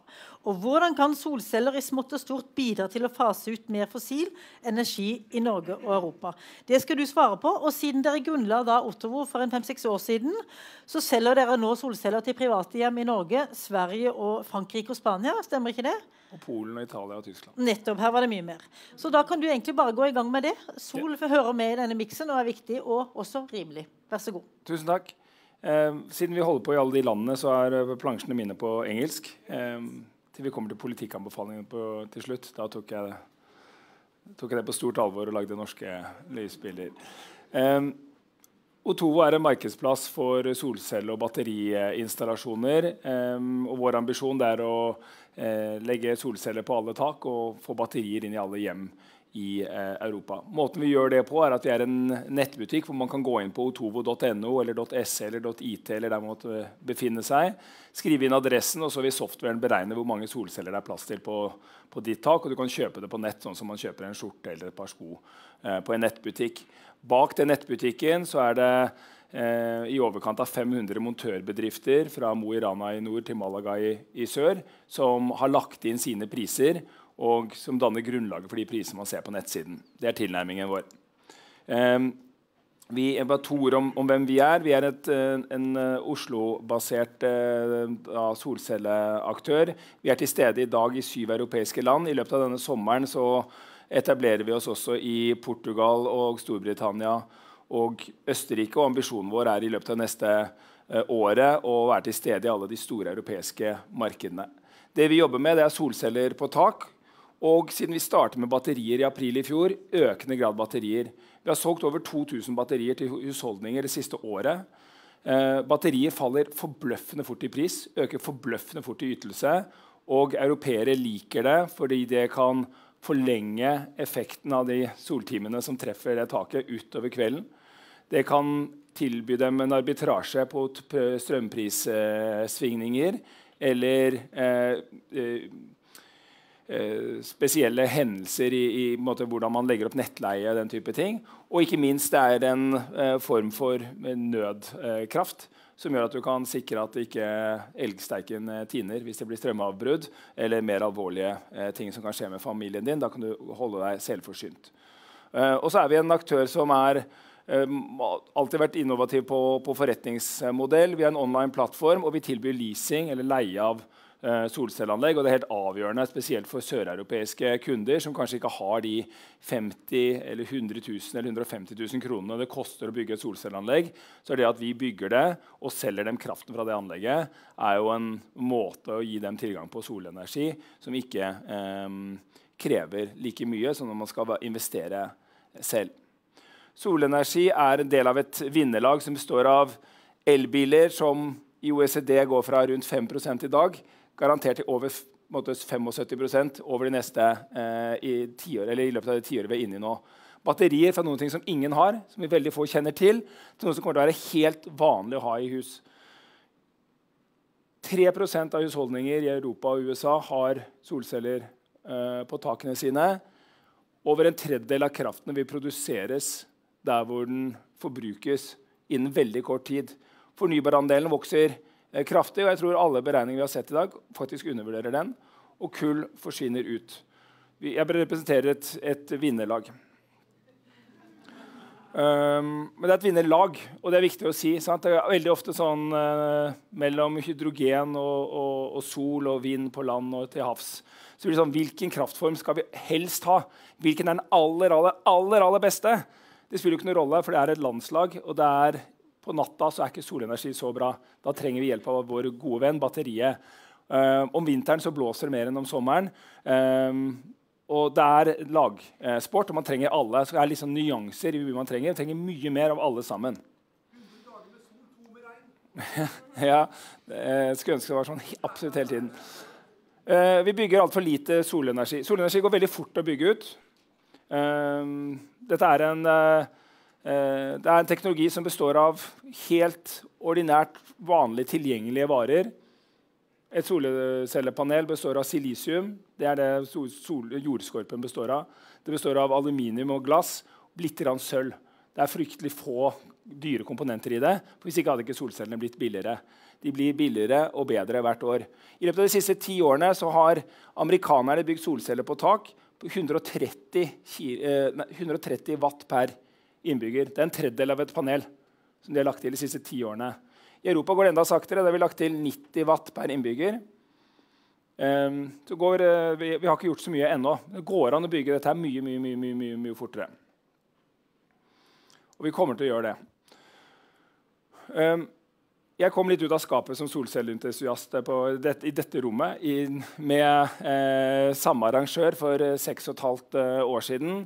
Da hadde, jeg tenkt, da hadde jeg bestemt meg selv at jeg skulle bli gründer. Når jeg ledet et selskap med 250 Eh, ansatte og en helt annen situasjon. Og da diskuterte vi akkurat på den frokosten så var det er solceller lønnsomt. For da var det sånn, det tok like lang tid å betale tilbake panelet som panelet hadde levetid. Det, et panel som vi lager i dag, det varer i 30 år på takene. Det kan vi være ganske sikre på. Produsentene garanterer det og står erstatningsansvarlig hvis ikke eh, gjør det. I Europa i dag så går det fra ti til åtte år i Norden til ned i tre år i Italia og Tyskland og betale tilbake det panelet. Det betyr at Hvis du er en tysker som kjøper et solcellepanel i dag, så vil du bruke tre år på å betale tilbake investeringen din, og så har du 27 år med gratis kraft fra det panelet. Det er ganske forbløffende. Det er ganske viktig da å motivere flest mulig til å klare å komme over den lille kneika her. Utrolig viktig. Det har vi dessverre ikke vært gode nok til å gjøre. Noen land og steder, stater i USA, California, Nederland, Hawaii, Australia, de er nå på at ett av seks hus, ett av fire hus, ett av tre hus har solceller på takene sine. Hva er det disse har til felles? De er på solrike steder. Det betyr at solceller ble lønnsomt først der. Eller de er øystater eller andre steder hvor det er liksom, alternativene er dyrere. Og så er det ofte kombinert det med aggressiv politikk for å få mange solceller til stede. Men solcellerevolusjonen startet i Australia i rundt 2010. Lønnsomhetsbildet til australierne var ikke veldig annerledes enn det der for europeerne nå. For solcellene i seg selv har blitt så vanvittig mye billigere i løpet av den perioden. Sånn ser det ut i Europa i dag. Det er forholdsvis få solceller på tak. Dette kommer til å vokse veldig veldig kraftig. Og det gjør det i Otovo så bygger vi rundt 1,5 megawatt med solceller hver uke nå. I april i år. Det er en forholdsvis stor en, måte, en solcellepark. Bygger hver eneste uke. Men det er summen av masse smått. Så hvis vi hadde vært en her, så er vi liksom, vi er infanteriet, vi er kalasjnikovene. Vi eh, er vannlekkasjen som drypper ut. Det blir mye av det etter hvert. Det, det er vår rolle. Og så var eh, spørsmålet fra Anne hva hjelper dette. Vel, Ett panel på et tak, et sånt panel på 400 eh, watt, tok ut av hva, måte, anleggene vi har rundt omkring i Europa. Det lager 300 kWt i året. Det betyr at når det har stått på tak i 30 år, så har det lagd 9000 kWt. Snittet i Europa på våre, de stedene vi har lagd våre anlegg, 387 000. Ett panel lager 11 000. Så ett panel i Europa dekker ett års forbruk. Så har du 30 paneler, så er du jo på en måte eh, fri fra strømsystemet. I Spania 550 kWt. 16 650 kWt over 30 eh, år. Og det er det her, Sånne type bilder liker jo ikke netteier og strømaktørene i, i, Spania å se. For de ser jo at her kan forbrukeren veldig fort omgå det systemet som finnes allerede. Det er, veldig, måte, det er et veldig, veldig kraftig medisin. CO2-effekten av dette er at hvert panel som kommer opp, erstatter jo den CO2-miksen som fins i strømnettet til enhver tid. I Europa i fjor var det 400 gram per eh, kilowatt-time. Anleggene som Vi lager, og vi lager små anlegg, så det er forholdsvis mye CO2 i våre paneler. i forhold til Hvis du er Scatec og kan bygge mange på ett sted, da blir det færre kjøreturer per panel. Vi er på 35 gram eh, CO2 per eh, panel. Det er mer enn vannkraft, f.eks. eksempel. for dette panelet er jo da lagd i en global verdikjede hvor kanskje um, silisiumen er skåret til Mexico. Uh, det er inngått fra Norge. Det settes sammen på en fabrikk i Kina. Uh, og jeg vil advare litt mot å tro at det er veldig lett å lage handelsbarrierer. Uh, disse, dette er verdens mest globaliserte verdikjede. Disse nye industriene som har kommet opp to, på, på 2000-tallet, super, superintegrerte i et et globalt, eh, globale verdikjeder. Eh, men det at de er så globale, det, at det inngår jo, det inngår jo CO2-utslipp mange steder i verden for å lage dem.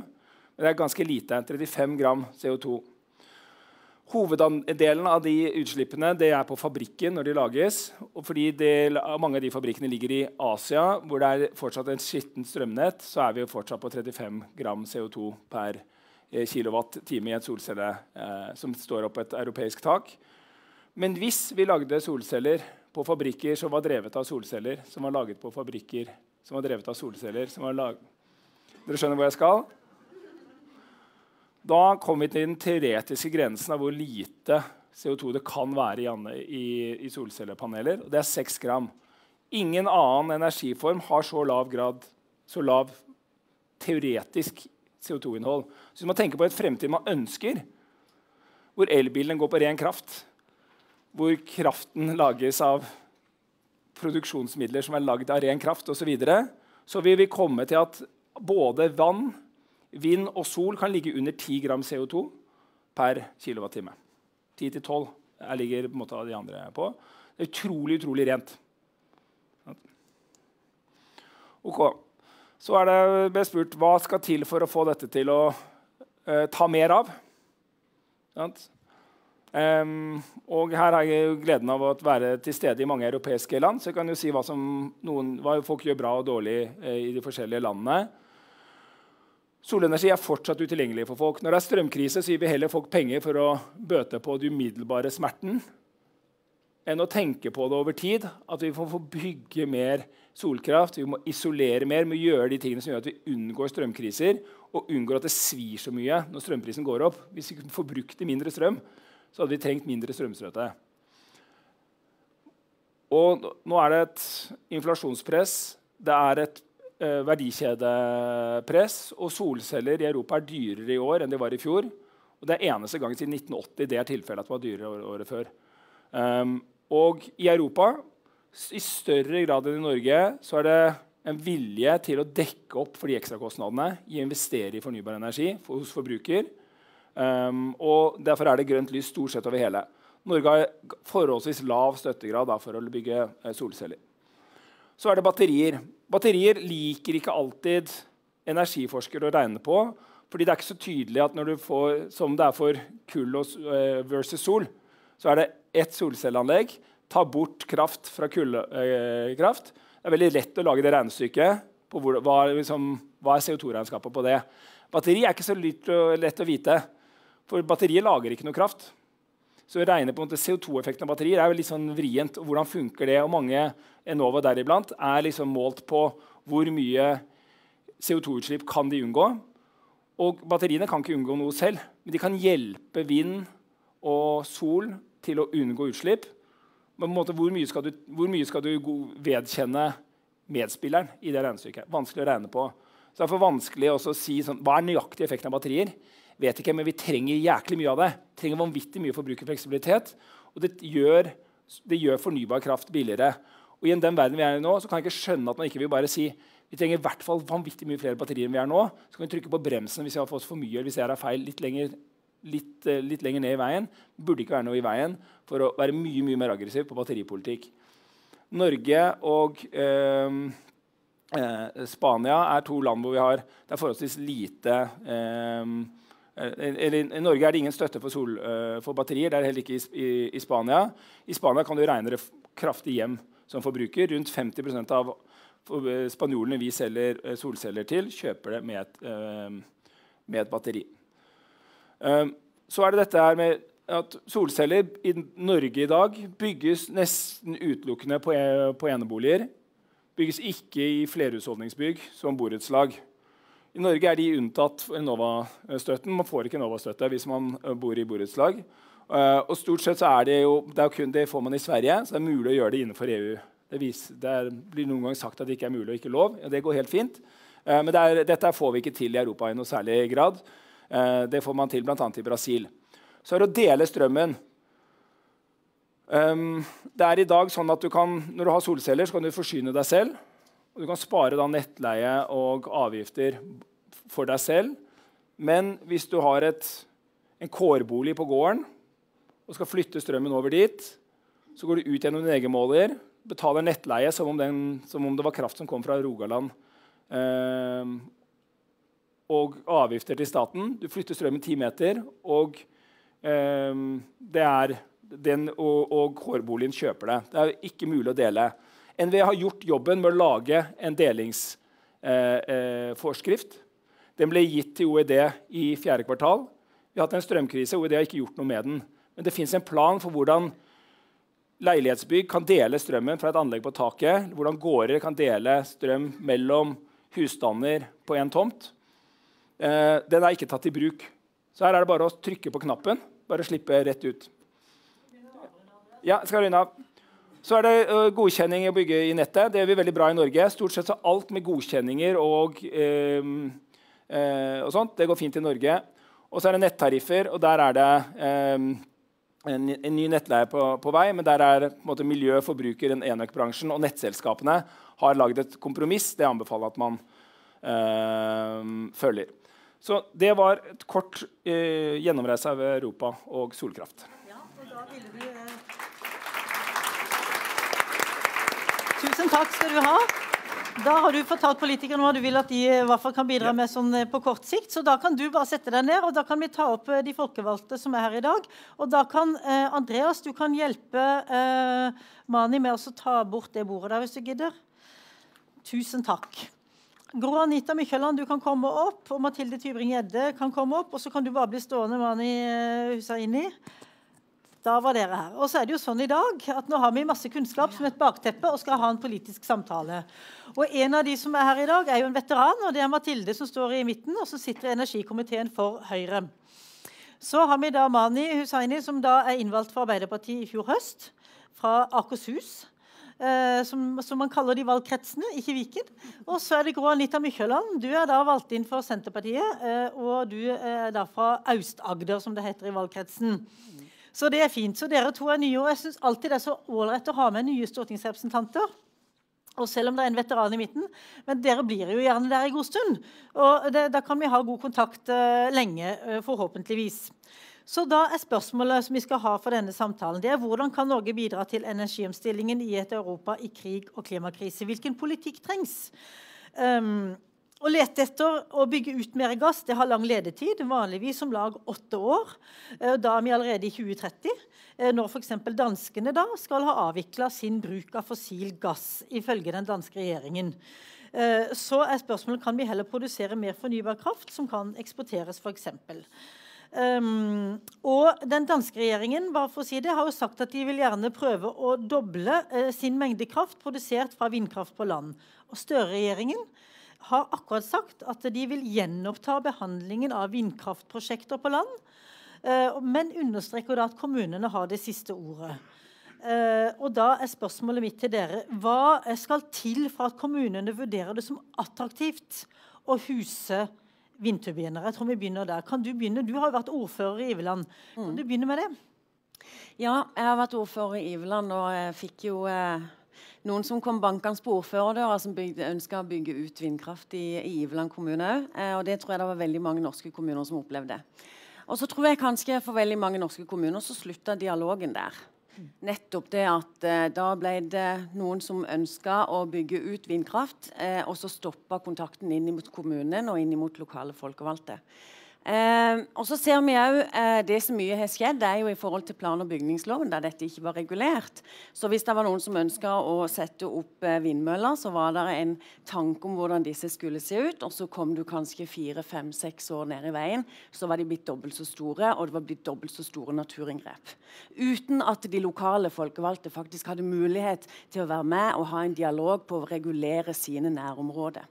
Det tror jeg var en av de største utfordringene som gjorde at folk opplevde at de ble trua. I tillegg så hadde vi det som vannkraften og suksessen med vannkraften i Norge har vært at eh, lokalsamfunnene har fått noe tilbake. Når vi bygde vannkraft for uh, drøye 100 år siden, så vet vi at det var kjempestore naturinngrep i hele Norge når vi skulle bygge disse magasinene. Men lokalsamfunnene fikk noe til gode, de fikk noe tilbake. Og ikke minst så var det jo sånn at i den tida der ja, så fikk vi strøm i husene våre. Det er annerledes i dag. Det er vanskeligere å fortelle hvorfor vi skal bygge ut og bygge store, ned store naturområder i Norge i dag, når vi sitter med 100% fornybar kraft til våre innbyggere og til vår industri. Så er det helt klart at eh, regjeringa og Senterpartiet og Arbeiderpartiet i regjering har sagt at vi ønsker der kommunene ønsker at vi skal bygge ut eh, mer landbasert vindkraft, ja, så ønsker vi å åpne opp igjen for det. Eh, og Vi har eksempler nå der lokalt næringsliv ser at de kommer til å trenge mer eh, kraft i sin produksjon, og der sin egen landbaserte vindkraft i sin egen kommune kan være et veldig verdi, verdifullt eh, innslag på det. Mm. Takk. Hva tenker du, Mathilde Tybring-Gjedde? Hva vil dere se for dere at dere kan gjøre for å kanskje få fart på vindkraften i Norge, som trengs også til industri, som Anita var inne på? Altså jeg mener jo at De endringene man uh, endte opp med i konsesjonssystemet, viste seg å være helt nødvendig. og jeg tror nok at Hvis man ikke hadde kommet med de endringene, så ville det vært full stans i veldig veldig mange år. Og så synes jeg Det er bra at man nå skal gjenoppta uh, behandlingen av søknader. Men jeg, jeg, vil understreke at det som trengs nå, er jo endringer i plan- og bygningsloven. altså man de faktiske endringene, At regjeringen må legge det frem. Slik at det er mer forutsigbarhet også for aktørene innenfor vindkraft. Hvordan uh, de, de, skal planlegge for sine, sine prosjekter. Det som eh, kan trekkes frem som kanskje de viktigste endringene da, i det konsesjonsbehandlingssystemet, det var Én eh, ting er størrelse på turbinene, avstand, eh, hvor lang tid du kan få konsesjon. Eh, det at kommunene skal ha mer, mer å si. Eh, produksjonsavgiften. Nettopp det at du skal få faktisk noe penger igjen til lokalsamfunnet. Eh, men det er jo på en måte bare rammene. dialogen og hvordan det følges opp i hvert enkelt prosjekt, kommer til å være ganske avgjørende. Og jeg var i Mosjøen eh, nå for noen uker siden og besøkte eh, Øyfjellet, hvor det er et nytt eh, eh vind, eh, vindparkanlegg. Og det er et eksempel på ikke ukontroversiell utbygging, det skal jeg ikke påstå, men der hvor du faktisk i mye større grad har fått lokal forankring, eh, lokal verdiskapning, arbeidsplasser. Særlig fordi kraften også i stor grad oppleves som å gå til hjørnesteinsbedriften Alcoa i, i Mosjøen. så det er jo ett eksempel, men da har de jobbet over ganske lang tid. Eh, og jobbet med å investere i friluftsliv og veldig mange andre tiltak. Så det er klart, det, det er krevende, eh, men det forutsetter at man får nå eh, endringene i plan- og bygningsloven på plass. så Det er min oppfordring også til regjeringen at de gjør litt raskere. For jeg tror ikke det å sette i gang med konsesjonsbehandling nå er tilstrekkelig for å få det volumet man trenger. Mm. Jeg viste jo dere den foilen her i stallagrafen fra DNV som de viste på Novea i går. og Der viste det seg jo da at man kommer til å få et underskudd på kraft, fornybar kraft i Norge også. Og det la til grunn at man skal gjennomføre noen av de industriprosjektene man har snakka om. Og hvis det er noe man hører fra de folkevalgte når de går rundt og snakker, så er det jo det. Ny industri basert på fornybar kraft, grønn industri, arbeidsplasser, batterier, alt mulig. Alt dette er veldig kraftkrevende, eller mye av det er veldig kraftkrevende. Så hvordan kan man da eh, sikre at man i hvert fall har nok til å drive det her i Norge framover, eh, Mani? Det er ingen tvil om at vi trenger mye mer kraft enn det vi har i dag. Og jeg har også sett de samme fremskrivningene om at uh, vi kommer til å gå mot et underskudd i 2026 hvis ikke vi bygger ut mer kraft. Og Derfor er jeg veldig glad for at uh, regjeringa kom med tilleggsmeldinga til energimeldingen fra den forrige regjeringen. Vi nettopp legger til rette for det. da. og sidekameraet her klager på regjeringen når det gjelder vind på land. men hele den prosessen stagnerte jo i forrige runde. Og jeg kommer kanskje bare på ett folkelig eh, sånn mobilisering, og det er strøm. Og det nest største det er jo eh, motstand mot, eh, mot, eh, mot, vind på land. Eh, så det å gjøre det på, en måte på folks premisser, og det å gi kommunene og befolkningen i de kommunene som eh, disponerer sine naturområder til å bygge ut vind på land, at de får følelsen av at de får noe igjen. Gro Anita var inne på det. Vi har eksempler fra Nord-Norge hvor, hvor selskapene som er inne, må, må, for det første forholde seg til de konsesjonene de har fått, og til de rammene de har fått, og ikke bare bygge sånn som de vil. Og de må legge igjen penger i kommunen. og det tror jeg mange kommuner kommer til å i hvert fall titte på. for det er ingen tvil om at alt utbygging av kraft Da setter vi på en måte vår natur til disposisjon og ødelegger natur. Så det må også komme med, med i, i, regnskapet. Men vi kommer til å gjøre masse. Vind på land, vind til havs. Og Jeg er uenig i det bildet som ble vist av Statkraft, om at det er kun den ene kabelen. Det er etappe én av to. Det kommer til å komme en etappe to. Det viktigste for oss i diskusjonen om havvind det er at vi ikke bare bygger en ny mellomlandsforbindelse. Alle dere som sitter her, dere har sett strømprisene. Og de, her, eh, den tilknytningen til Europa har en stor del av skylda for det. Eh, det er bare å sammenligne sør opp mot nord på hva prisen er. Det, vel flere, det er vel også flere ting. ja, ja, poen, poen, poenget er skal vi gjennomføre så store investeringer, så må vi ha folk med oss. Og folk må ikke miste trua på klimakampen. For med en gang klimakampen blir eh, noe som svir skikkelig på lommeboka, så tror jeg folk snur seg. Og det er jeg redd for at vi ser tendenser til nå. Men det er klart at her har også politikerne et ansvar med å være tydelige og fortelle hvor man skal og hvorfor. Men det kan vi ta en prat med etterpå. Du skulle ha en kort replikk, Anita, og så var det deg, eh, Anita, og så var det deg, Mathilde. Ja, eh, det er helt klart at det kraftunderskuddet som vi ser vil komme fra 2026 og inn mot 2030, handler jo om en veldig stor omstilling i næringslivet i Norge, som mm. er bra for klimaet i alt vi eksporterer. Eh, og da tror jeg jo det som eh, regjeringa har gjort nå med å sette ned en energikommisjon som skal se på den energimiksen. Vi har vært innom flere. Vi har hatt solvind og vi har hatt havvind, og det er mange muligheter.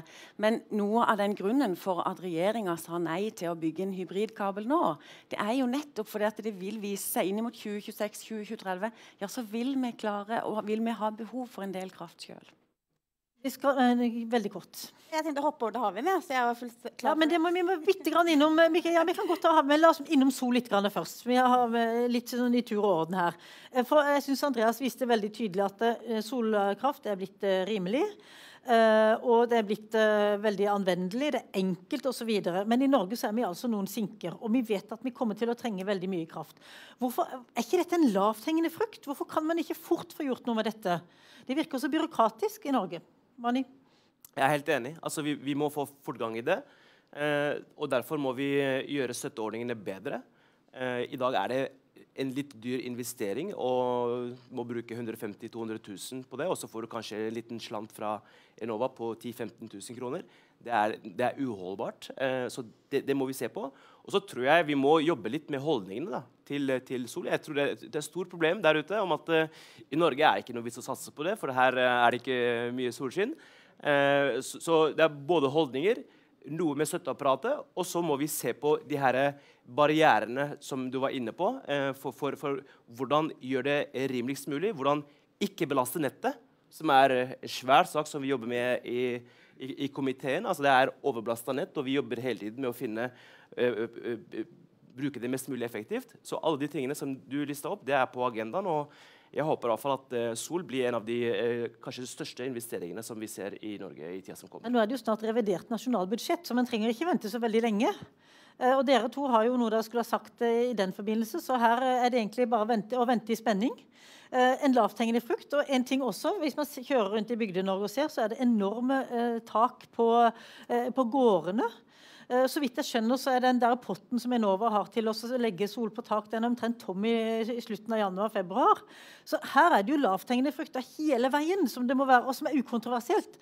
Så her er det store forventninger rett og slett til hva Stortinget skal gjøre på kort sikt.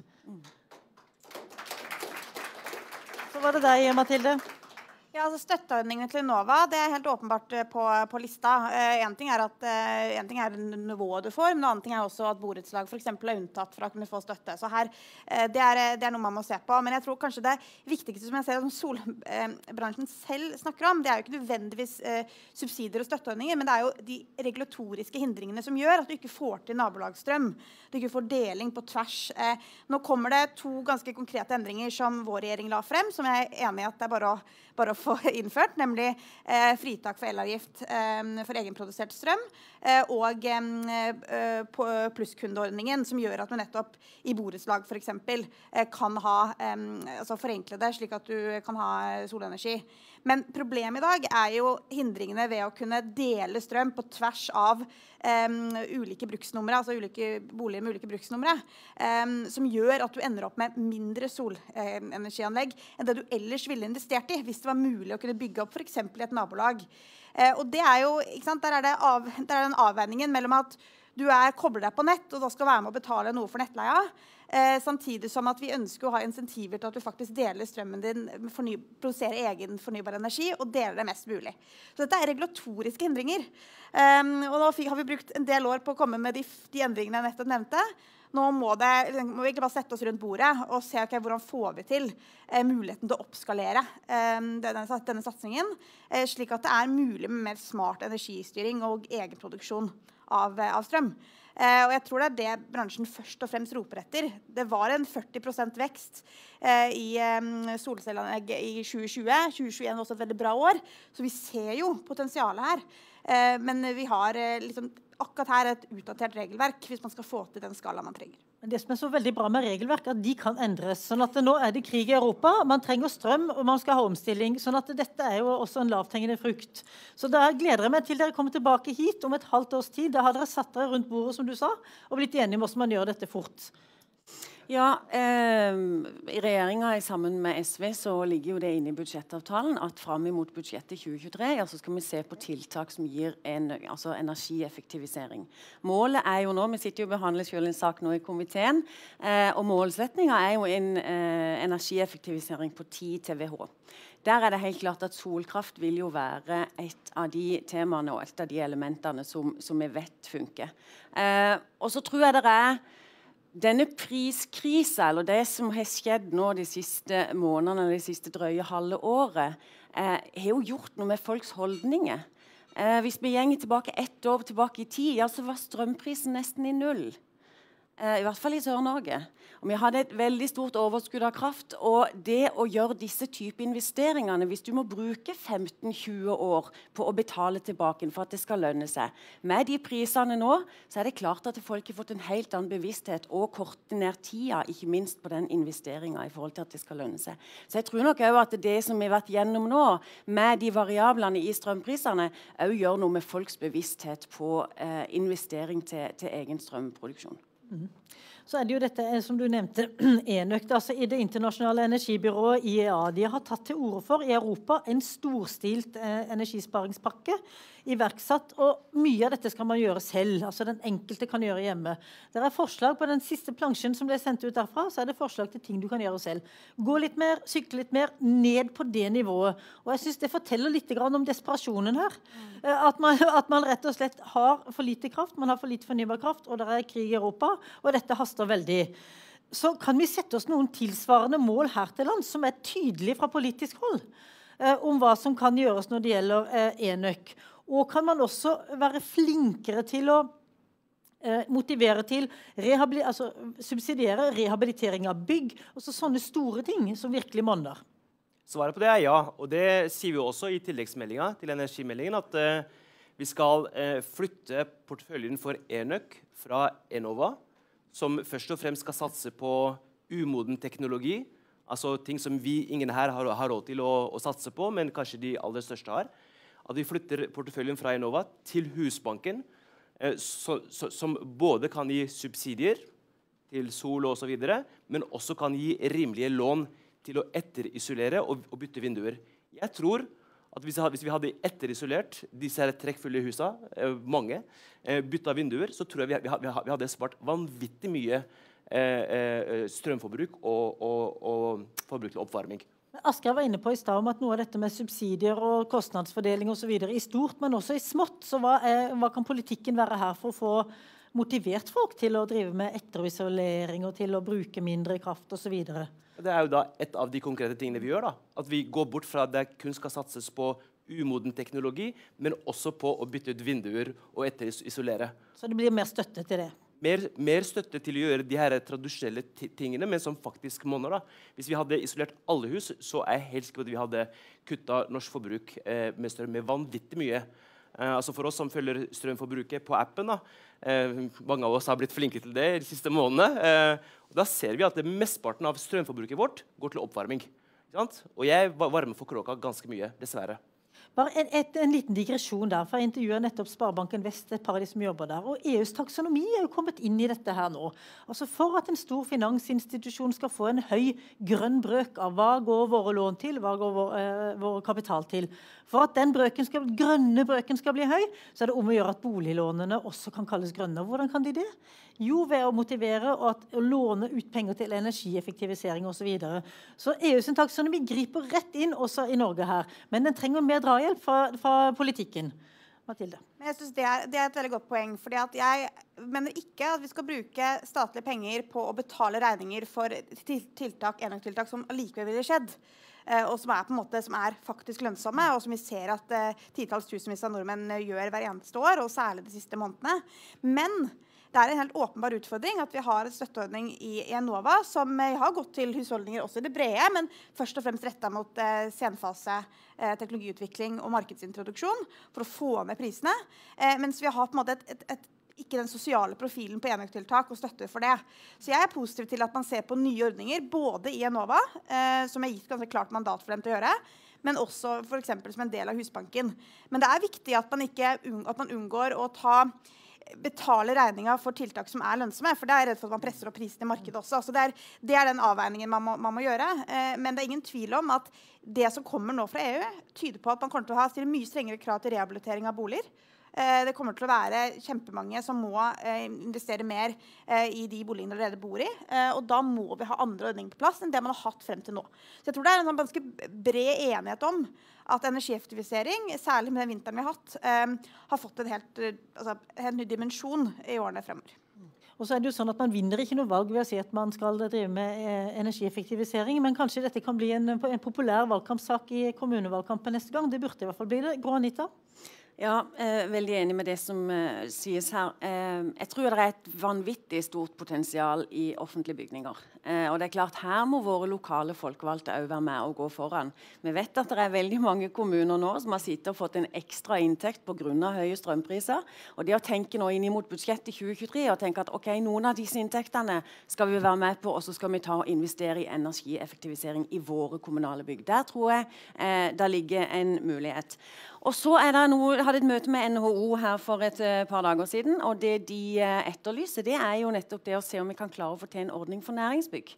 Og veldig ofte da så er det du har en utleier som eh, kanskje ikke er interessert i å ta disse kostnadene, samtidig som du har da en, en som leier der. Så eh, jeg tror òg innenfor næringsbygningene våre i Norge, eh, så eh, lagerbygg, den type ting, som tror jeg er ganske energikrevende, så, eh, så tror jeg òg det er et potensial. Og alle disse elementene det handler jo om støtteordninger, men jeg er veldig enig med Mathilde som sier at det, vi skal ikke gå inn og støtte der som markedet egentlig ordner opp sjøl. Eh, det er nok å bruke penger på på. Eh, så det, det, vi må vite at vi treffer på, eh, vi treffer på, eh, på det som faktisk gir en, en gevinst. Nå har vi snakka om noe, eh, en del ting som monner, men så skal vi snakke om det som monner aller mest, og det er vindkraft til havs. Og her er det, som vi så før, økte ambisjoner i veldig mange land. Og I Norge har vi brukt lang tid på å bestemme oss, og vi har gått forsiktig i gang. Så hva kan gjøres for å øke tempo og mengde? Det er det ene. Og så er det dette andre finnordet som de fleste partier stilte seg bak før, og det var det at Norge skulle være et grønt batteri. Altså Muligheten man har for å være et grønt batteri, ligger jo også da i Nordsjøen eller i, i, havet. Så spørsmålet er hva kan man gjøre for å øke tempoet? Den regjeringen som sitter nå, den har gjort noe.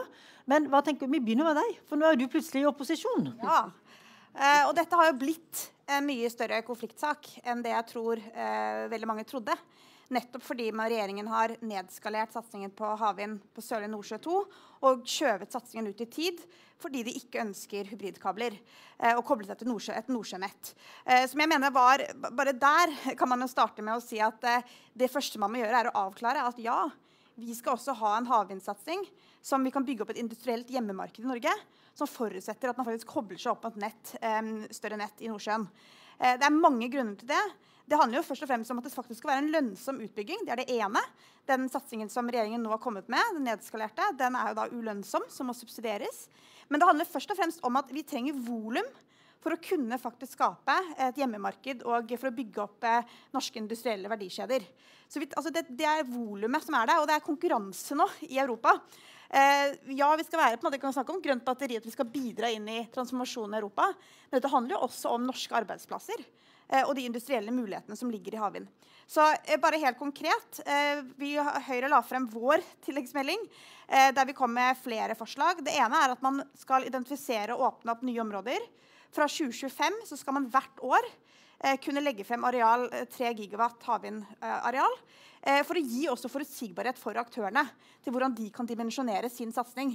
Er, når man vet at det kommer forutsigbart med mye mer areal som bygge, kan bygges ut, eh, og at man har den havvindsatsingen fra 2025 opp mot 2030 hvert eneste år, så er det helt, helt avgjørende. Og så må man jo få fortgang i prosessene. Eh, flere, altså I selve konsesjonsprosessene. Eh, samarbeidsforum for havvind, som nettopp setter alle aktørene som, eh, rundt et bord, må gjenoppta møter. Altså Man må rett og slett begynne å snakke om koordinering mellom fiskeri, med naturvern, med å identifisere nye områder. Så det er, det er, kanskje det viktigste. Og så mener jeg at det å bruke vinterens strømsituasjon til å nedskalere en, en havvindsatsing, og det som er et industrieventyr for Norge, er en utrolig dårlig idé.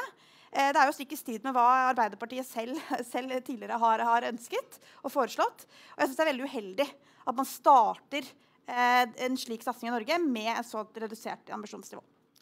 God Anita, og så er det deg. Ja, eh, det blir en tillegg til tilleggsmeldinga i forhold til energimeldinga. Så det begynner å bli en del tillegg og energimeldinger å holde styr på. Eh, det er ikke tvil om at Senterpartiet har vært veldig tydelig på at vi ikke ønsker å bygge flere utenlandskabler eh, i denne perioden. Regjeringa har satt inn i sin Hurdalsplattform at vi ikke ønsker å bygge flere utenlandskabler. Og så har regjeringa i debatten vært at ja, er en hybridkabel en utenlandskabel eller ikke? Ja, mener vi. Det er ikke tvil om at en hybridkabel vil sørge for at vi kan eksportere mer av den krafta i første utbyggingstrinn i, eh, på havvind.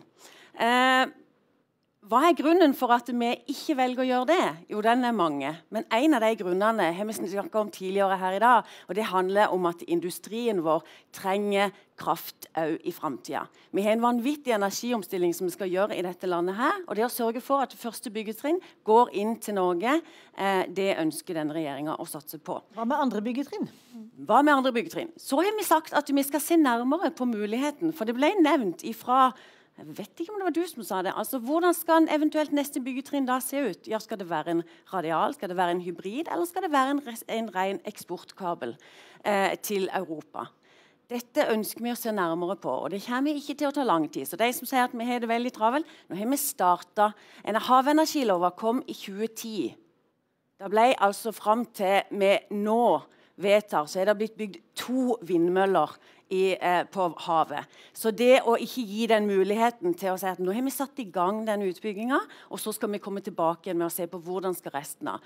Det er helt klart at det vil bli et, eh, et grid, et nett ute i Nordsjøen. Og med mest sannsynlig så vil Europa, så vil Norge koble seg på dette. Men i denne fireårsperioden og i denne prosessen som vi er nå, ja, så har vi sagt at det første byggetrinn skal inn til Norge for å sikre norsk kraft. Mani. Vanvittig bra skrive, eh, historieomskriving fra Høyre her. Altså, det er jo det er nesten sånn, at man, man, ikke tror på det. Eh, eh, eh, I åtte år så har man sittet og sett på eh, eh, havenergilova, og da resultert i to vindmøller. Ikke delt ut noen arealer. ikke starta noen konkurranser. Ikke laget tildelingskriterier. Alt det har vi gjort på våre syv-åtte måneder i regjering. Vi har åpna ny, nye felt.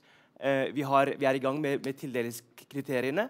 Og vi sier og vi har gitt beskjed til NVE om å se etter nye områder, så at vi kan komme raskt i gang.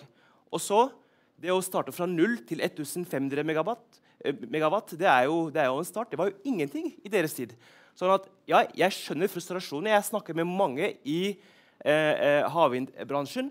Men eh, det med folkelig forankring og det å ha fol folket med seg i disse svære investeringene er utrolig viktig. Og så eh, har også din sjef sagt at det er mulig å, å, å designe eh, overføringsnettet slik at vi kan hindre at disse, her, det, det, det, disse kablene blir til mellomlandsforbindelser. Ja, så at, så at det, det er utrolig viktig at vi får til samtidig som vi bygger havvind. Så jeg er helt sikker på som til å si, at vi kommer til å koble oss opp mot uh... Møtet i Stortinget begynner om fem minutter, men Ola Elvestuen påstår at det tar to minutter å komme seg herfra ja, inn i stortingssalen. Så jeg tror det må gå én kort replikk, og så er dere tre invitert igjen eh, om ikke veldig lenge til å fortsette diskusjonen. Men da må dere ha gjort enda mer i mellomtida. Vær så god. Uh, for det første, Verdens største flytende havvindpark Hywind Tampen, åpner i år takket være en beslutning fra forrige regjering. Vi la jo frem en energimelding hvor vi nettopp eh, hadde Sørlige, eh, Sørlige Nordsjø 2 eh, som, som, eh, og Utsira Nord som to helt konkrete områder. Vi ba NVE begynne å starte allerede i september med å identifisere nye områder. Eh, det vi trodde at regjeringen skulle legge frem i januar, det var jo faktisk helt konkret hvordan rammevilkårene blir. Men slik Granita sier nå, så er det noe man fortsatt må vente på. Hvordan blir utbyggingen? Eh, det å, det å nedskalere fordi man ikke ønsker, ønsker, nå å koble seg opp med et nordsjønett, mener jeg er utrolig uklokt. Særlig fordi at spørsmålet bør jo ikke være ordtolkning om hvorvidt, eh, hvorvidt en hybridkabel er en utenlandsforbindelse eller ikke. Det er en sånn uinteressant grammatisk øvelse. Det spørsmålet bør være, er hva er det som er klokt for å få mer kraft inn til Norge? Og da kan man jo nettopp dimensjonere kabelet på en slik måte at det er netto mer kraft til Norge, samtidig som den er lønnsom. Dere må gå nå. Det er tre minutter til, to til fire minutter. Så tusen takk skal dere ha. Dere andre kan bli sittende litt. Grann.